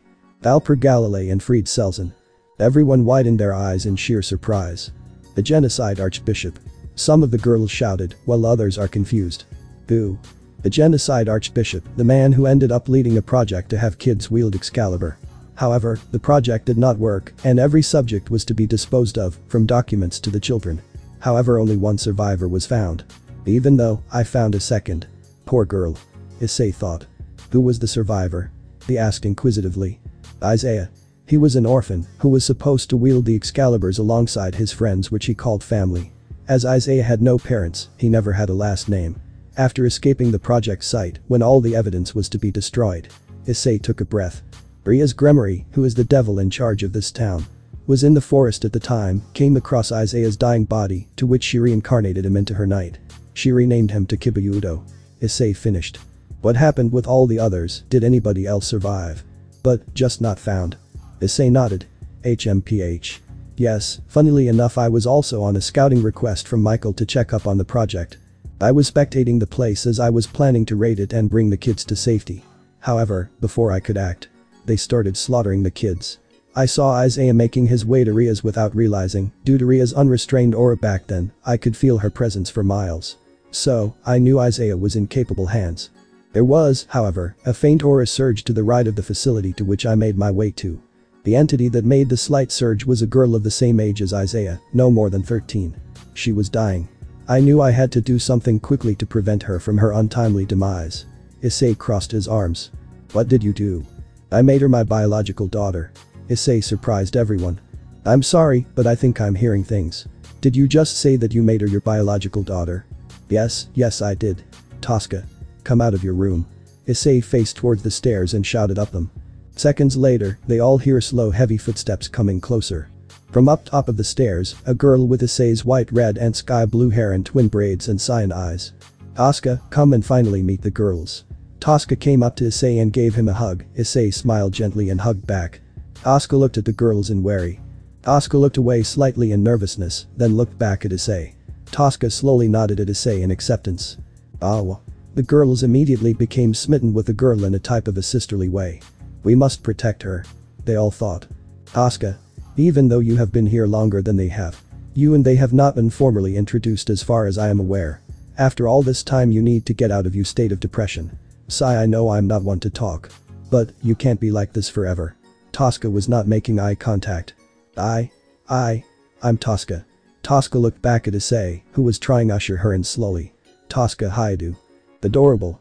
Suokyude. Everyone all gushed on the girl. Issei Tosca surprised by their faces was an understatement. Well, I'll let you have your fun, Tosca. Issei started to walk upstairs. Tosca tried to reach out, but stopped halfway in hesitance. With Issei. Knock knock knock. Irina, Xenovia. You decent. Issei said behind the door. Issei. Issei could hear a crash in the room. What was that? It was nothing. Irina shouted on the other side. Issei switched to Xenovia. Xenovia, what was that? Irina fell off her stool. Xenovia. Irina screamed, most likely in embarrassment. What? He asked. Never mind that, once you're both done here. I want the both of you to meet me downstairs along with everyone for a serious talk. This also concerns the Gremory and Sitri heiresses and their peerages. Issei turned serious. Okay, we will be down in six minutes. Xenovia complied. Alright, I need to make a phone call. Issei then left. On the other side of the door. What do you think he wants to talk about? Irina said. I don't know. Xenovia shrugs. Well, let's hurry up. We don't want to keep Issei waiting. Irina said jovially. With Issei. Ring ring ring. Hello. Rias picked up. Hello Rias. Is there by any chance Sona with you? Yes she is. Why do you want to know? Because there is a matter that needs to be brought to light. And, what would that be? I will tell everyone when you and Sona bring your respective peerages. Alright, when do you want us to be over? Now. Issei said with seriousness. On the other line was dead silence. Okay, we will be there in two minutes. Good. See you in a little while, Rias. See you in a bit, Issei. But that both Issei and Rias terminated the call. Issei breathed a sigh. And began to walk to the living room. Son, you are doing this for them, for their own good. Ddraig tried to console his son. I know dad. But, I made a promise to Sirzechs that I wouldn't spill God's death. Yes, you did. But, remember that you also said that when the need arises. You would have to tell them. Yes, I remember. But, I can't help but feel like I'm breaking my promise. You aren't. If anything you are just bending it. And that doesn't make me feel any better. But, if my intuition is correct Kokabiel will most likely reveal God's death anyway. So, saying this to them before everything goes down is better than having them fall during the battle. Issei enters the living making his way to the couch. Oh. Master's back. Saying that, everyone in the room looked at Issei, all while surrounding a very embarrassed Tosca. Hello, everyone. Issei said a bit in thought. What's wrong master? Um. Oh, right. Yes, so. Rias, her peerage and Sona with her peerage are coming in a little while. Because there is something that needs to be addressed. Okay, do you want us to leave and give you privacy? Issei shook his head. No, as far as both of us are concerned. This also has to do with Yulat and the two upstairs as well. Issei looked over to all of the maids. Why would it concern us? Olivia tilted her head. Because it has to do with God. The main door to the house opened and who walked in was no other than Tiamat, Issei's mother. Hello, mother. Issei smiled. Hello Issei. How have you been? Tiamat asked. I've been fine. Well, that's good to know. Tiamat smiled. So? How was the job? It went smoothly as always. Sheen. The Gremory and Sitri circles appear on the floor in front of them. Rias and Sona with their peerages emerge. So, Hyoudou. What do you want to talk about? Sona tried to be as stoic as possible, but it was failing as shown to be with a blush on her cheeks. Rias and Sun widened their eyes when they saw Tiamat. You two look like a deer caught in headlights. Tiamat said amused. I will tell you in a minute, we are just waiting for two others. In the meantime, get acquainted with each other. With that. Some of the maids jumped Asia like a sister on sister would, cough Serafall cough, while the more reserved ones stood there professionally, waiting for their turn at smothering the blonde. Why? Asia fell onto her back with the sisters in maid outfits on top of her. So you're Asia. You look more beautiful than the picture Issei has of you. Eh? Thank you. Asia said awkwardly. Girls. Get off of Asia. Issei looked at the girls that were on Asia, looking amused. Yes master. The girls that jumped Asia then slid off of her. It is good to finally meet you Asia, master has talked about you from time to time. Abigail smiled while speaking in a regal and professional tone. It is nice to meet you as well. Asia smiled. Minutes went by Rias, Sona, and their peerages all introduced themselves to the maids and Tiamat. Tiamat took her place on the couch beside Issei. Irina and Xenovia came down the stairs. Sorry we took so long. Don't be. Issei said. Irina and Xenovia looked at the newly arrived and Tiamat as well, which surprised them greatly. Issei told everyone to sit down. So, why did you all want us here? Rias said. Sigh here we go. Issei said under his breath. The reason why I brought everyone here today is to reveal a secret which only I, my mother and a selection of individuals in the higher rankings know, for example, Sirzechs and Serafall. In all of the religious campaigns like the Shinto, Greek, Hindu, Norse and other religions know of this as well, which they also all swore to keep this a secret. Tiamat looked at Issei with a facial expression of you're telling them. Which he caught and nodded back. Tiamat nodded in acceptance. Just get on with it.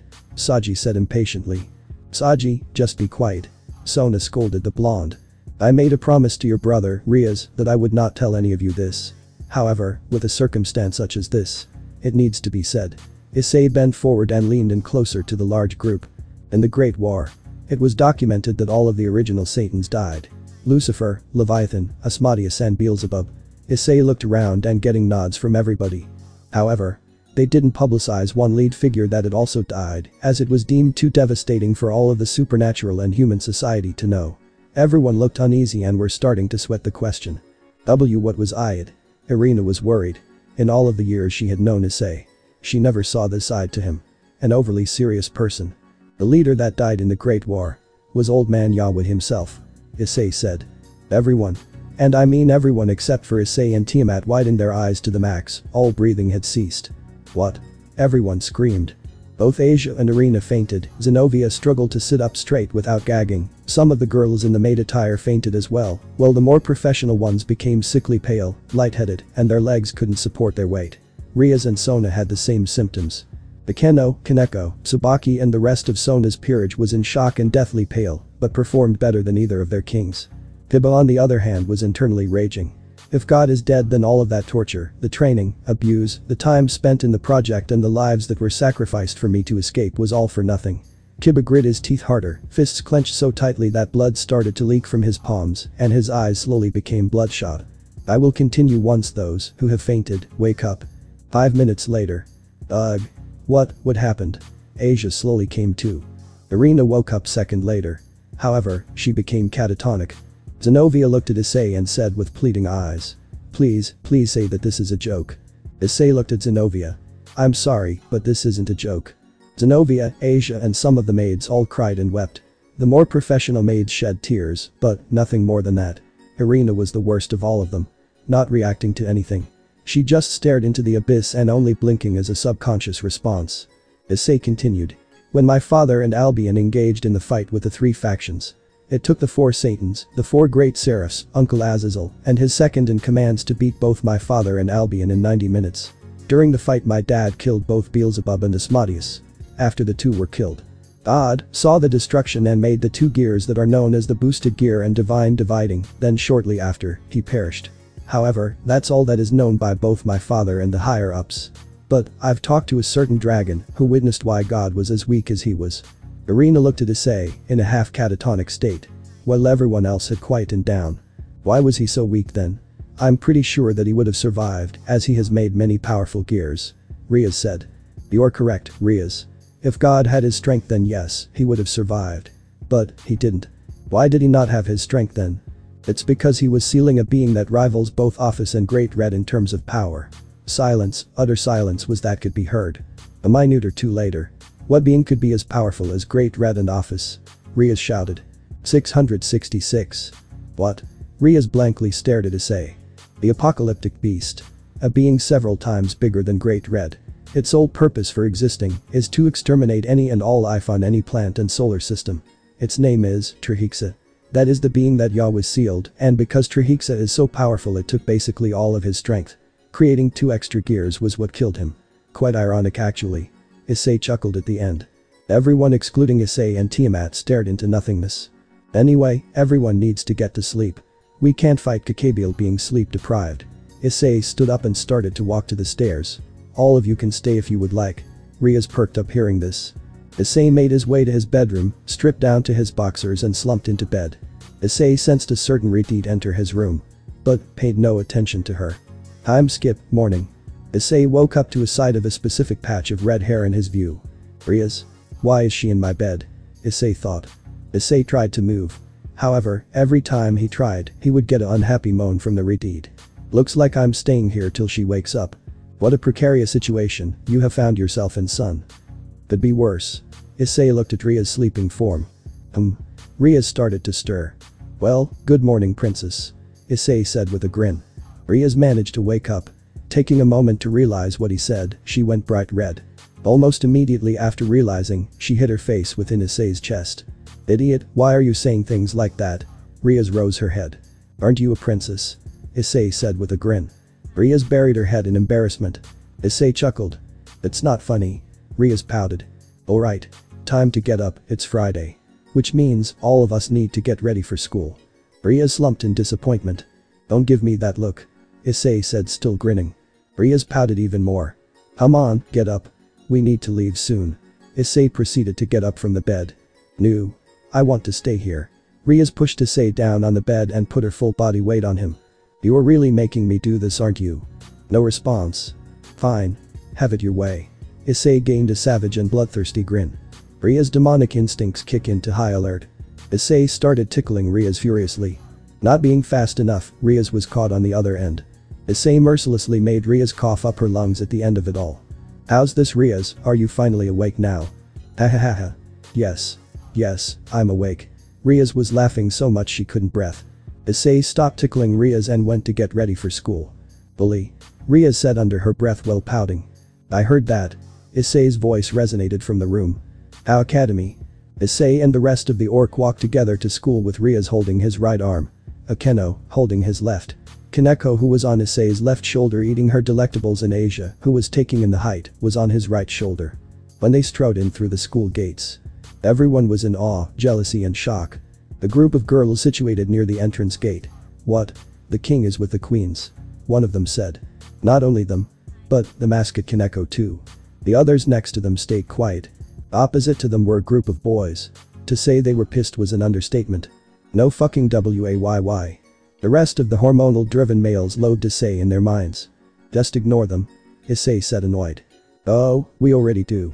Rias said while smiling towards Issei. Yes, I know you all do. But, I'm more protective of all of you now. So, I don't want anyone. And I mean anyone to hurt those I love and care about. I'll kill them if they do. Issei spoke seriously. But, laced with loving care. Rias and the other girls blushed. Issei kissed all the girls in order of Rias, Akeno, Asia and Koneko. The onlookers were stunned and unable to comprehend what just happened. After bidding farewell to Rias and Akeno, Issei, Asia and Koneko make their way to the classroom. Time skip, classroom. As usual, as the three enter the room they hear shouting and overall chaos. Can't get any worse, right? Issei thought. Don't jinx it, Issei. Ddraig said to his son. Inhales. Every one of you calm the fuck down and sit in your seats. Issei bellowed making everybody present jump. Due to Issei's intimidation, all of those in the room, with the exception of both Asia and Koneko, immediately sat down, not saying anything. Good.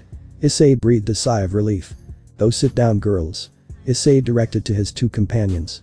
Issei proceeded to walk towards his seat with the others trailing their gaze on him. The females looked at him with admiration, while the males with fear. This was going to be a weird day. Time skip, lunch break. Issei was on the rooftop of the school, taking in the breeze that was colliding with his face. Issei would come to places like this to clear his mind and free his emotions. He felt, smelt and heard multiple different things. The nature, the vehicles moving throughout the town. Ara, what do we have here? Issei turned around to find that Akeno and Rias were standing next to each other and looking at him. Rias, Akeno. I thought you were in class. We got let out early. So, what better way to spend it with the one we want to be with? Rias answered with a smile plastered on her face. Alright, that explains why you two are here. Speaking of, why are you here, Issei? Rias put her hand on her waist. Clearing my thoughts. I like the open air, it makes me feel calm, and it puts my mind at ease. Issei turned back around and leaned on the railing. That's actually a reasonable answer. Rias was astounded. What did you come to talk about? Issei stared out at the horizon. Rias and Akeno move beside Issei as they stare out at the same scenery. This view is beautiful. Rias said. Not as beautiful as the both of you two. Issei turned to Rias with a grin. Rias turned bright red. Ara, Issei I never knew you was such a sweet talker. Perhaps after the event with Kokabiel, we could have time together. Akeno said with a seductive tone. Akeno, if anyone deserves to go out with him first it will be me. Rias tried to claim her man by holding tightly on Issei's arm. Ara, have you forgotten Rias? We all agreed to share Issei. Akeno did the same as Rias. Rias, quell your jealousy. If I remember correctly, I said that I will love all of you equally. No one is number one. To me all of you are number one. Issei pulled an Uno reverse and embraced the two devils instead. Rias blushed in Issei's chest. Akeno surprisingly blushed as well. Issei, Rias and Akeno stayed like that for the rest of day. Time skip, sunset, night. Issei, Rias, Sona and their peerages with the two exorcists were cooped up in the Orc, devising a plan to deal with Kokabiel. So, Issei it's your call. You've lived longer than us and most likely planned May battles like this before. Sona said. That's correct, Sona. But, I want to see your plan first. Very well. Sona pushed her glasses up the bridge of her nose with the lenses reflecting. As we all know, Kokabiel is a leader-class cadre fallen angel that has survived the Great War thanks to Issei's uncle, Azazel. He has confirmed that Kokabiel has indeed defected from the Grigori. Issei cut in. Actually Azazel made the change to Kokabiel's allegiance from the Grigori to the Chaos Brigade at the time of Ervina's death as he was a part of it. Issei said with seething fury. It's alright dear. We will have our vengeance when the time comes. Ervina randomly spoke out of the blue. In turn, startling everyone in the room, except Issei. Issei? Is that your? Rias got a nod from Issei. At that moment Issei's aura spread off of him and detached.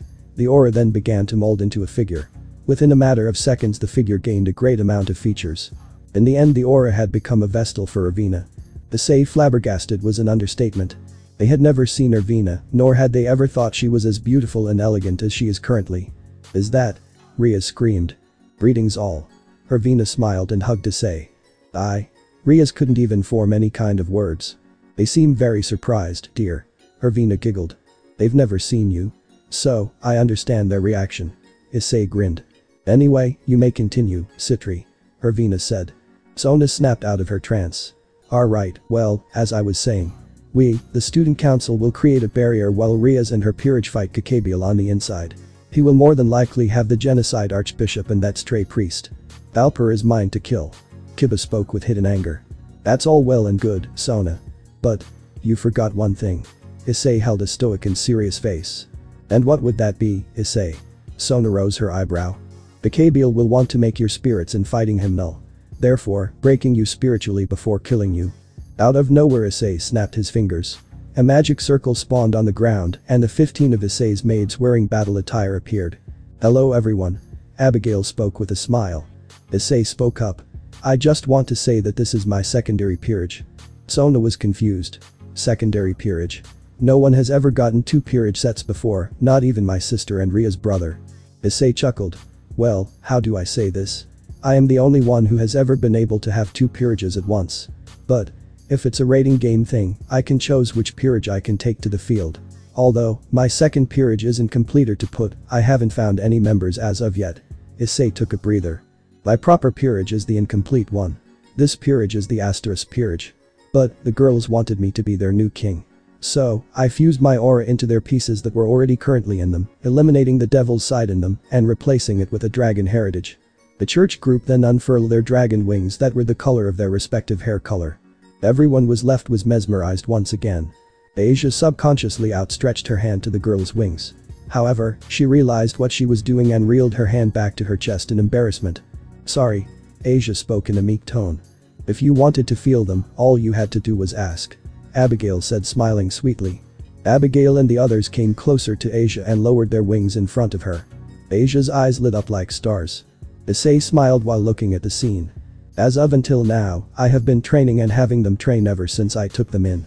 They didn't want to be weak. So, they asked me to help train them to get a lot stronger. Everyone in the room shivered, remembering the brutality.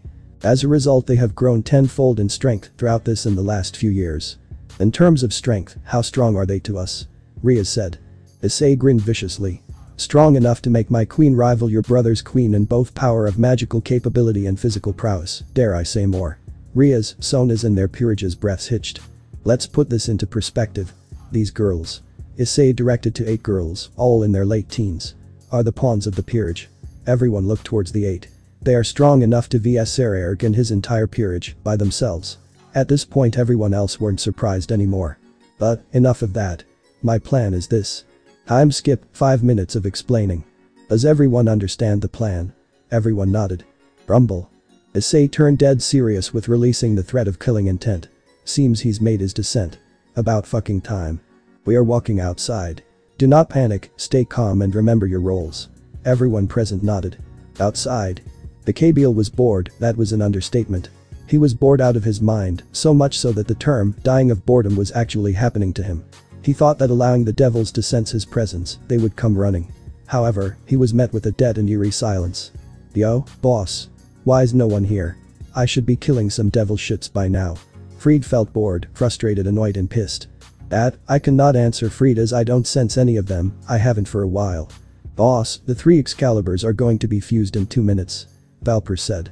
Good. Out of nowhere, multiple entities flooded out of the trees flanking them in a pincer maneuver in all black clothing covering them head to toe.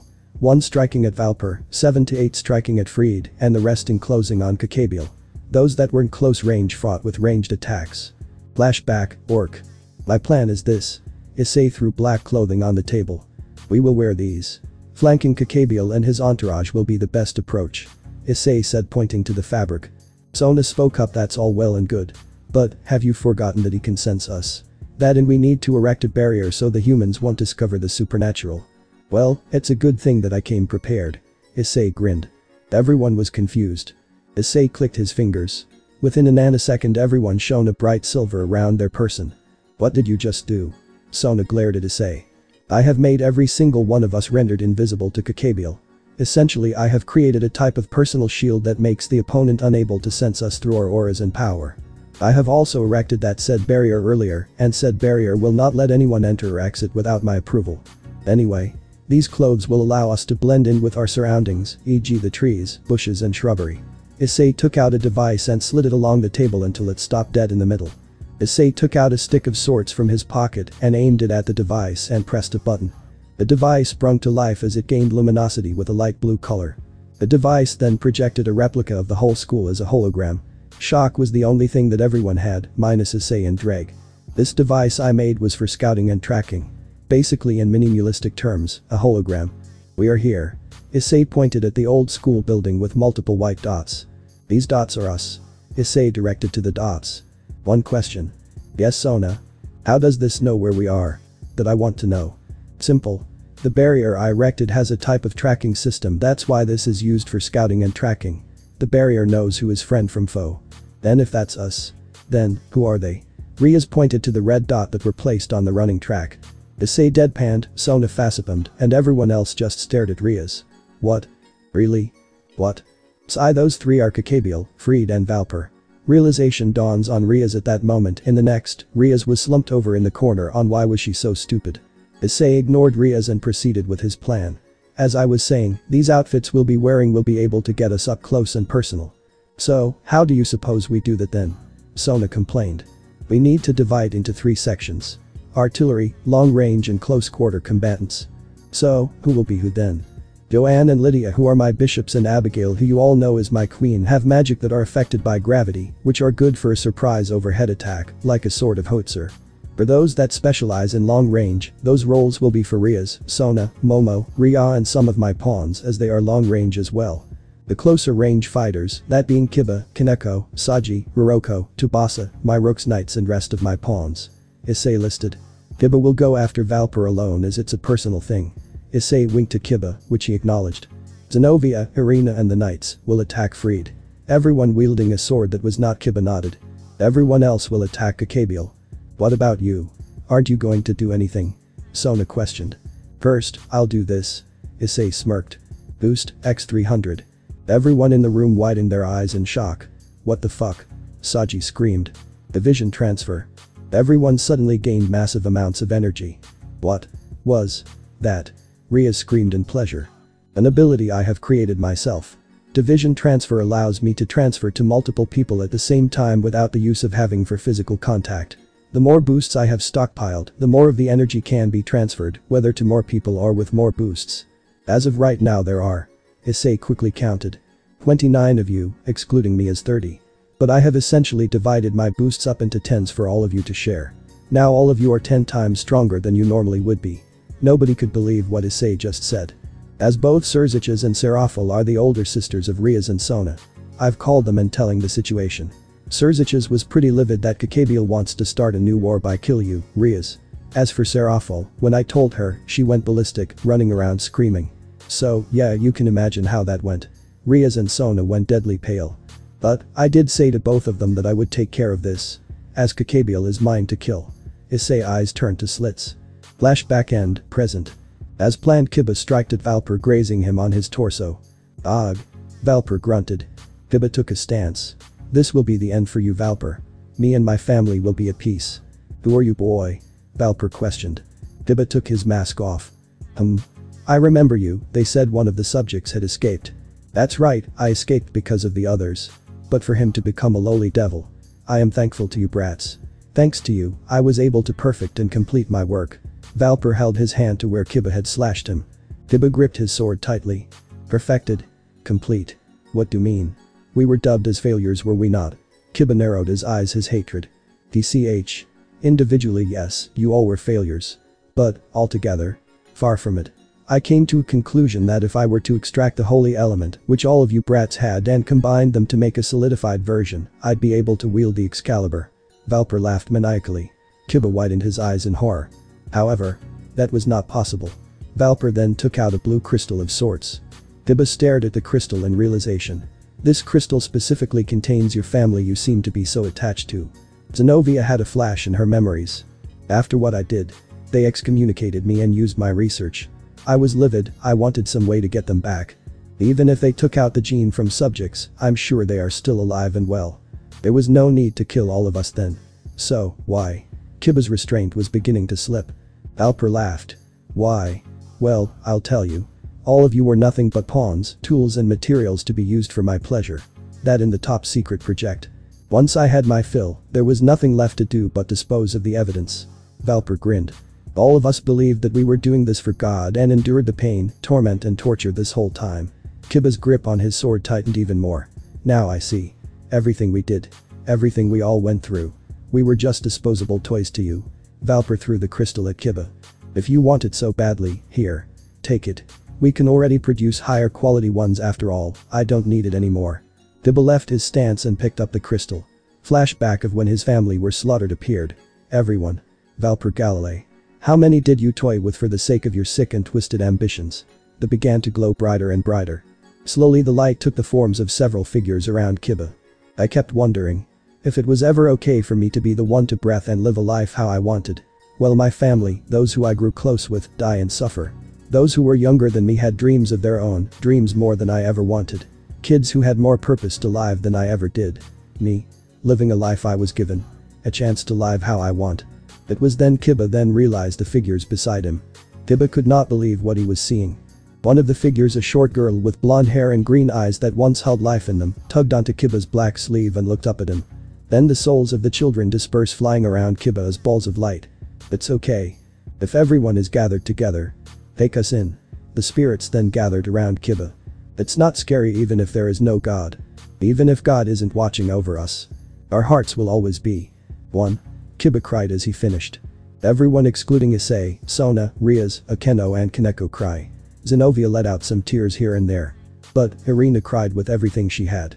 Over with Issei and the others. Issei sensed Kiba peaking his power. I see. So, he finally achieves it. Everyone practically looked at Issei. What do you mean, Issei? Rias asked. He has reached the pinnacle of his power temporarily, resulting in him being able to obtain his balance breaker. With the upsurge of emotions flowing through him, this is exactly what he needed. So, Kiba is? Yes, he is. Back with Kiba. Kiba strides over to Valper. My family, the ones that sacrificed themselves for me, didn't want me to live for revenge. No, that's not what they wanted. But, I felt like I had to erase the one who made us suffer. So, that is exactly what I am going to do. Kiba summoned his holy sword eraser. Valper sensed the danger that was directed at him. Freed. Ahaha, I'm here as you called. As Freed guarded Valper. Pathetic wimp, you should have killed yourself along with the rest of them. Valper said. Issei shouted out to Kiba. Kiba, you are at a serious point in your training now. From now on, expect said training to be more taxing for you. Kiba sweat dropped. At the moment everyone was stood still and was glancing over at Kiba and Issei. Rias said. Kiba, you can do it. Fight like a house of Gremory, take that priest and that fake sword, and show them who not to mess with. A true knight of mine cannot lose to such a weak foe. Kiba looked at them with sheer determination. Freed became incredibly uncomfortable. This shit pew tried another scene from the house of Gagme Gremory. Ugh. It's starting to making my skin crawl. I can't take this disgusting shit anymore. I need to kill every one of you to make myself feel much better. Og. Freed then aims his sword at Kiba. Kiba looked at his holy eraser. This won't cut it I'm afraid. So, time for a new sword. Kiba stretched the sword up into the air. Dear comrades, whose souls have merged with mine. We shall overcome this together. All our dreams that were stifled can now come true. I will create a sword for real this time for Rias and all of my fallen friends. Sword birth, go. The sword that Kiba held high in the sky changed shape. This is the sword of betrayer. A sword invested with holy and demonic powers. Just try and stop it. Rias spoke. Holy and demonic powers fused into one. Correct, Rias. Issei answered. Valper said. A holy demonic sword. That's impossible. Two opposing elements cannot mix together. Something like that is a complete and utter abomination. Xenovia randomly appeared. So, Knight of Gremory. How are we going to go about this? Going to destroy the Excalibur then, kill Valper. Kiba replied. I see. Well then. Allow me to assist you with that task. Kiba was caught off guard. Are you sure? Won't the church cast you out as a heretic for helping a devil? That would usually be the norm. However, due to Issei having so much influence in the supernatural, Archangel Michael made him the person we report to personally. And when we get back to report to HQ, Issei will be with us. Alright then. I appreciate the help then. Xenovia decided to get serious. She stuck Excalibur Destruction into the ground and began to chant as she stretched out her right arm to the side. Saint Peter, Saint Basilius, Saint Dionysius and the Blessed Virgin Mary. I ask you to heed our help in time of great need. At that moment a light golden magic circle appeared and what came with it was the holy sword Durandal bound in chains. Xenovia grabbed the handle of Durandal, as she did the chains binding the great sword vanished. Which allowed her to ready into a stance, prepared to combat the fused Excalibur. The other designated girls that were assigned to deal with Freed had also joined the fray. Valper within his mutterings came to the truth. In order for the demonic and holy energies to. Ha ha ha ha. That's it. The reason why this phenomenon can exist is because God is. Right when he was about to finish his sentence a bolt of light sift through his torso. Ah. Valper, you was a valuable asset in the beginning. But now you're expendable, you've done your part. You was close to spilling God's death. Kokabiel grinned. Kokabiel, who expected everyone around the battlefield to wear questionable and angsty looks on their faces. However, he soon quickly came to see that everyone was not phased in the slightest. Kokabiel's amusement changed to confusion and annoyance. Why aren't you all phased? Everyone just stood there looking at Kokabiel uninterested with a deadpan facial expression. Not that he could see them anyway. Phased by what? The fact that God is dead. Issei spoke with crossed arms and a concealed aggression. Kokabiel was genuinely shocked. How do you know? I haven't even told any of you yet. Issei narrowed his eyes. And his pupils turned to stilts. Because. Issei took off the black cloth that covered his face. When he did all the others did the same. Kokabiel was at first was caught by surprise. However that quickly shifted to that of laughter. Ha ha ha. Ha ha ha ha. Ha ha ha ha ha ha ha. You. You're the one that was with that girl. The white-headed one. The one we left in that cave to die all of those years ago. Issei could feel his blood boil. He subconsciously leaked his aura. Not enough to the point of interruption. But, slightly noticeable by those close to him. Issei's unwavering gaze pierced through Kokabiel like a spear or a ballista bolt. The rest of everyone else except Rias, her peerage and Ervina, who had re-entered Issei's soul within the boosted gear, looked at him in curiosity. That includes his own peerage. Before now, he had never said anything to anyone about the tragic deaths of Ervina and their unborn child. So, for all of the girls in his peerage. They had never known. They had always tried. Definition tried to get closer to Issei as they had developed feelings towards him. Yet, he would always either push them away or avoid the entire subject altogether. There were times where they had asked him to tell them why he would always push them away. However, he would always say it's personal or I don't like talking about it. And dismiss the question altogether. Her name was Ervina. Issei spoke through gritted teeth. And she was my everything. I loved her like no other. But, that all fell apart. Issei was having traumatic flashbacks, images cycled from to the entrance of the cave he used to live in, with every image reaching closer and closer. Then to switch to the inside of the entrance closing in on what haunts him, even though Ervina is with him now. Being in the boosted gear like Ddraig. Every time Issei slept. He would have the same recurring nightmare. No, night terror is more like it. And there was nothing that Ervina nor Ddraig could do to help their husband's son. The images started to get worse and worse as time went by. Seconds turned to minutes minutes into hours. For everyone else, only 12 seconds had passed. All of the girls, Kiba and Saji grew concerned for Issei, and they tried to get his attention. However, it was for naught as Issei continued to ignore them. That was when Ddraig spoke. Issei is having a post-traumatic event as of right now. He is not able to hear anyone. Not even me. He has a lot of these dreams and I can't get rid of them. Ria says to Ddraig. What does he experience? The experience is the same nightmare almost every single night. A lot of the time I have to pull him in the boosted gear and comfort him. He suffers the nightmares that take place in the cave to which his mate was killed and strung. Deep within the confines of Issei's hallucinating vision. The turn that Issei was once again dreading of what he would see. You would think that after multiple times of having the same recurring nightmare over and over and over again would make the feelings inside of you dull. No, it doesn't. It all stays the same or it may worsen if one tries to move past it. They'll always be reminded of the experiences. And that will never fade. The vision slides around the corner and lo and behold. Ervina's body in the same place as she always is. Lifeless, unmoving, pale and limp. The vision snaps to different points while looking directly at her body. First a close-up shot of her face. Next, bottom right hand side, then overhead left. Same as always Issei falls to the ground in despair. Issei grabbed his head and mentally screams. Will this ever end? Issei finally for what felt like an eternity blinked back to reality and found everyone staring at him. Issei. He turned to the voice, who was Rias with a very concerned and worried expression that contained tears of which were threatening to leak. Rias, why are you crying? Issei then proceeded to look around the field. Most all of the girl were crying and some were completely distraught and saddened. Ddraig told us what you experience basically every night. Rias held Issei's hands in a comforting manner. Issei felt angry. Not at them. But, at himself. Himself for showing that side, his vulnerable side. Sorry Rias. For making all of you worry. Issei smiled. You idiot. Rias hugged Issei tightly. Well, now isn't that just putrid? Kokabiel said disgusted and bored.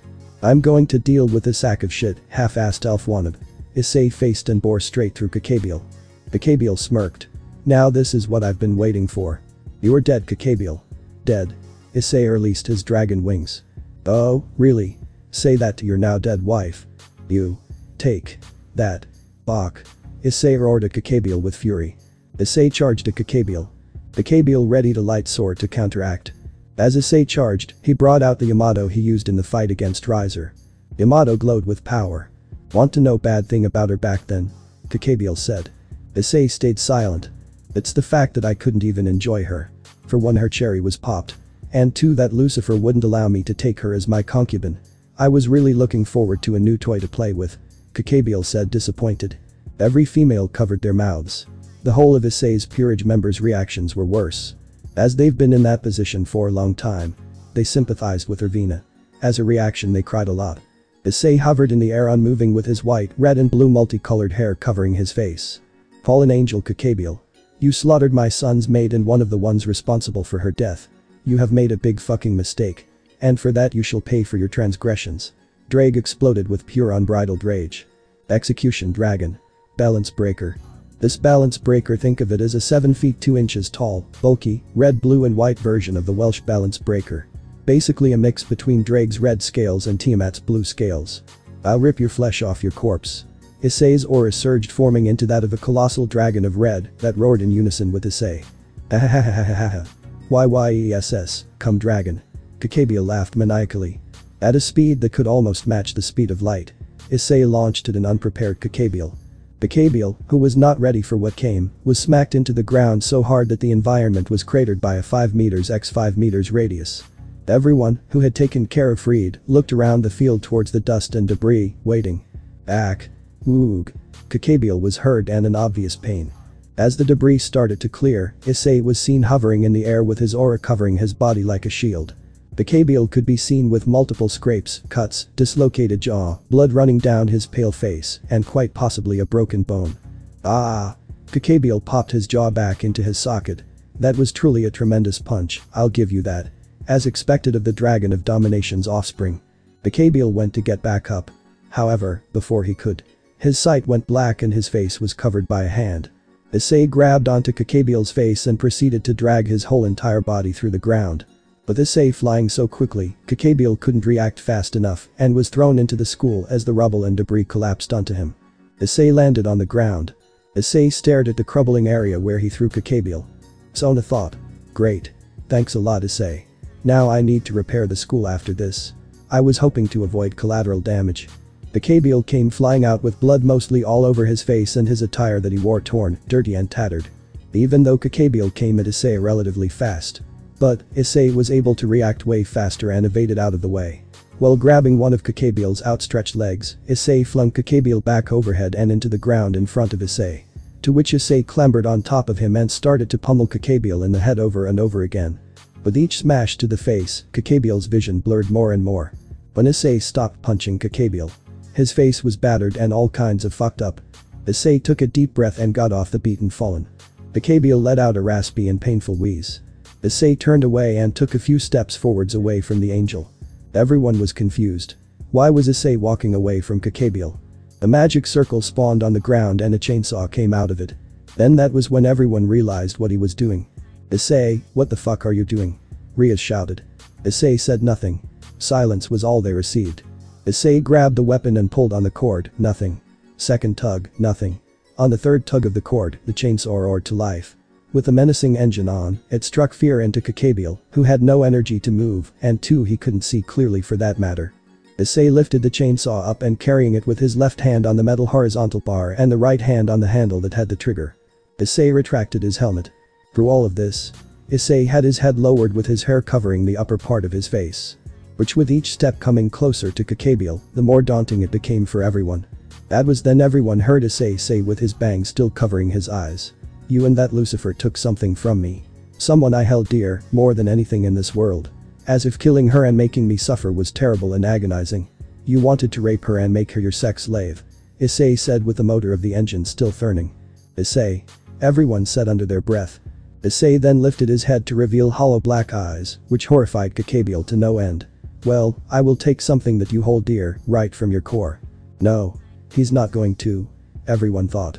Issei kicked Kokabiel onto his front as he was on his back and stamped on all ten wings. Their wings. With Issei's feet pinning Kokabiel's wings to the ground. There was nothing Kokabiel could do. No. PL please. Not my wings. Kokabiel screeched. Issei didn't listen. Instead, he proceeded to position the chainsaw and rev the engine. Issei placed the blade of the chainsaw near Kokabiel's wings. Please. I will give you anything. Issei kept the blade hovering over the black feathery wings. Issei took a hold of the trigger and held it down. The bladed chain now spinning viciously. Everyone stared with mouths agape. The maiden peerage covered both Asia's eyes and ears while also surrounding her vision to make sure she doesn't experience any mental trauma. Sona and her peerage looked away. Rias and her peerage minus Asia stared at Issei. Without any hesitation Issei dove the chainsaw and grinded through all of Kokabiel's wings on his right side, separating them from his main body. Ai. Kokabiel squealed in pain as liters of blood came spewing out. Issei threw the five useless wings away and prepared to do the same to the other side. Once again, Issei positioned the chainsaw over the last remaining five wings from Kokabiel's pathetic and heaving body. Issei pulled the trigger again. The chain spun rapidly with the blood still coating it. Then with one clean slice. Slang. The blood of the severed wings splattered all over Issei's face and body, staining him. Ah. Kokabiel writhed in pure agony. Issei then summoned another magic circle and threw the chainsaw through it. As the circle vanished, Issei walked over to a Kokabiel, who was trying to crawl away. Issei then kicked him onto his back to look directly straight up at him. Issei grabbed the scruff of Kokabiel's collar and pulled him close towards Issei's face. I am the storm that approaches. I am the reason that black clouds exist in isolation. I am the reclaimer of my family's name. And my family's crest is a dragon of death. Remember that Kokabiel. Remember it well. Issei said with angst and rage. Issei, Vali is here. Good to see my student once again. Issei smiled. A figure in the sky surrounded in white armor hovered in the sky. The figure proceeded to fly down towards Issei. It is destined that when both the red and white dragon emperors meet, they fight to the death. Even if it means sacrificing their own life to do it. Yet, no matter how many previous white emperors come before, they are overtaken by lust for power in which they always fall to the juggernaut drive. No White Dragon Emperor wielder has ever succeeded in making a scratch on Issei. Let alone killing him. So, when Rias and everyone else sees this newcomer, who is apparently the White Dragon Emperor bowing down to Issei. This is bound to cause some shock and awe. Master, you have returned. I have been training as you kept on requesting. The figure in white spoke in a smooth and light voice. Vali. How many times do I have to say? Issei looked at the now named Vali, who was still bowing down to him. This Vali person deactivated her balance breaker to reveal that the person was a female, who was just as curvaceous as Rias, and dare I say Akeno as well. Not to bow down to you and stop calling you master. Vali slowly stood up with Issei's assistance. Not that she needed any though. Vali blushed at the physical contact she has. Rias saw this and grew jealous. Rias stomped over to Issei and pulled on his ear. Ow, ow, oh. oh, oh. Rias spoke into Issei's ear. Issei. Who is she? And does she know you? Ow, ow, ow. Okay, okay. Just, let go. Please. Rias granted Issei's wish. HMPH. Now, explain. Issei sighed in relief. Okay. Rias, everyone. I introduce you all to Vali Lucifer. Vali this. Rias and her peerage, Sona and her peerage and Asteris peerage. I know, Issei. Vali looked over them all, while Issei gained a wry smile in embarrassment.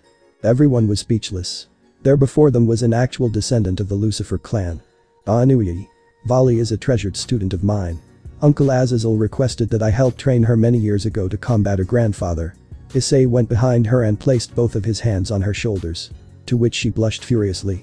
Issei seemed to be oblivious to this though. Rias grew red in the face with jealousy. Why can't that be me? Anyway, have you found anything more about the Chaos Brigade? Issei looked down at Vali who was still shorter than him by a foot. Yes. I have. Good, what about? Rizevim is in control of the whole organization. Vali was about to continue. But Issei's immense aura pushed her and all the others to the ground. Even Kokabiel, who had been just watching from the sidelines was being crushed by the unnatural strength. Rizevim. I will make you regret what you did to me. Ddraig roared with Issei in tandem. After a while Issei calmed down. Thank you Vali. Because of what you did I will get you reward. After saying that Vali and everyone else were confused that was until they all saw Issei give Vali a kiss on the cheek. Vali then went bright red and even fainted. Rias at this point was super jealous and was pouting really hard. Akeno, however. Ara, Issei you charmer. Maybe if I do something worthy of a reward maybe, I could get something like that. Akeno in a seductive tone. If you try hard enough then, yeah maybe. Issei grinned. I'm guessing uncle sent Vali to pick up Kokabiel. As Vali is out for the count I need one of you girls to help carry her to my bedroom in my house, so she may rest. Issei went over to Kokabiel. And where are you going? Rias questioned. Issei picked Kokabiel and hoisted him over his shoulder and looked over to Rias. Just taking the sack of shit to uncle, which is not too far as he owns a place here in Kuoh. Oh, and don't worry. Sirzechs has given him the approval a long time ago. And with that Issei took to the skies with Kokabiel unconscious body flailing around.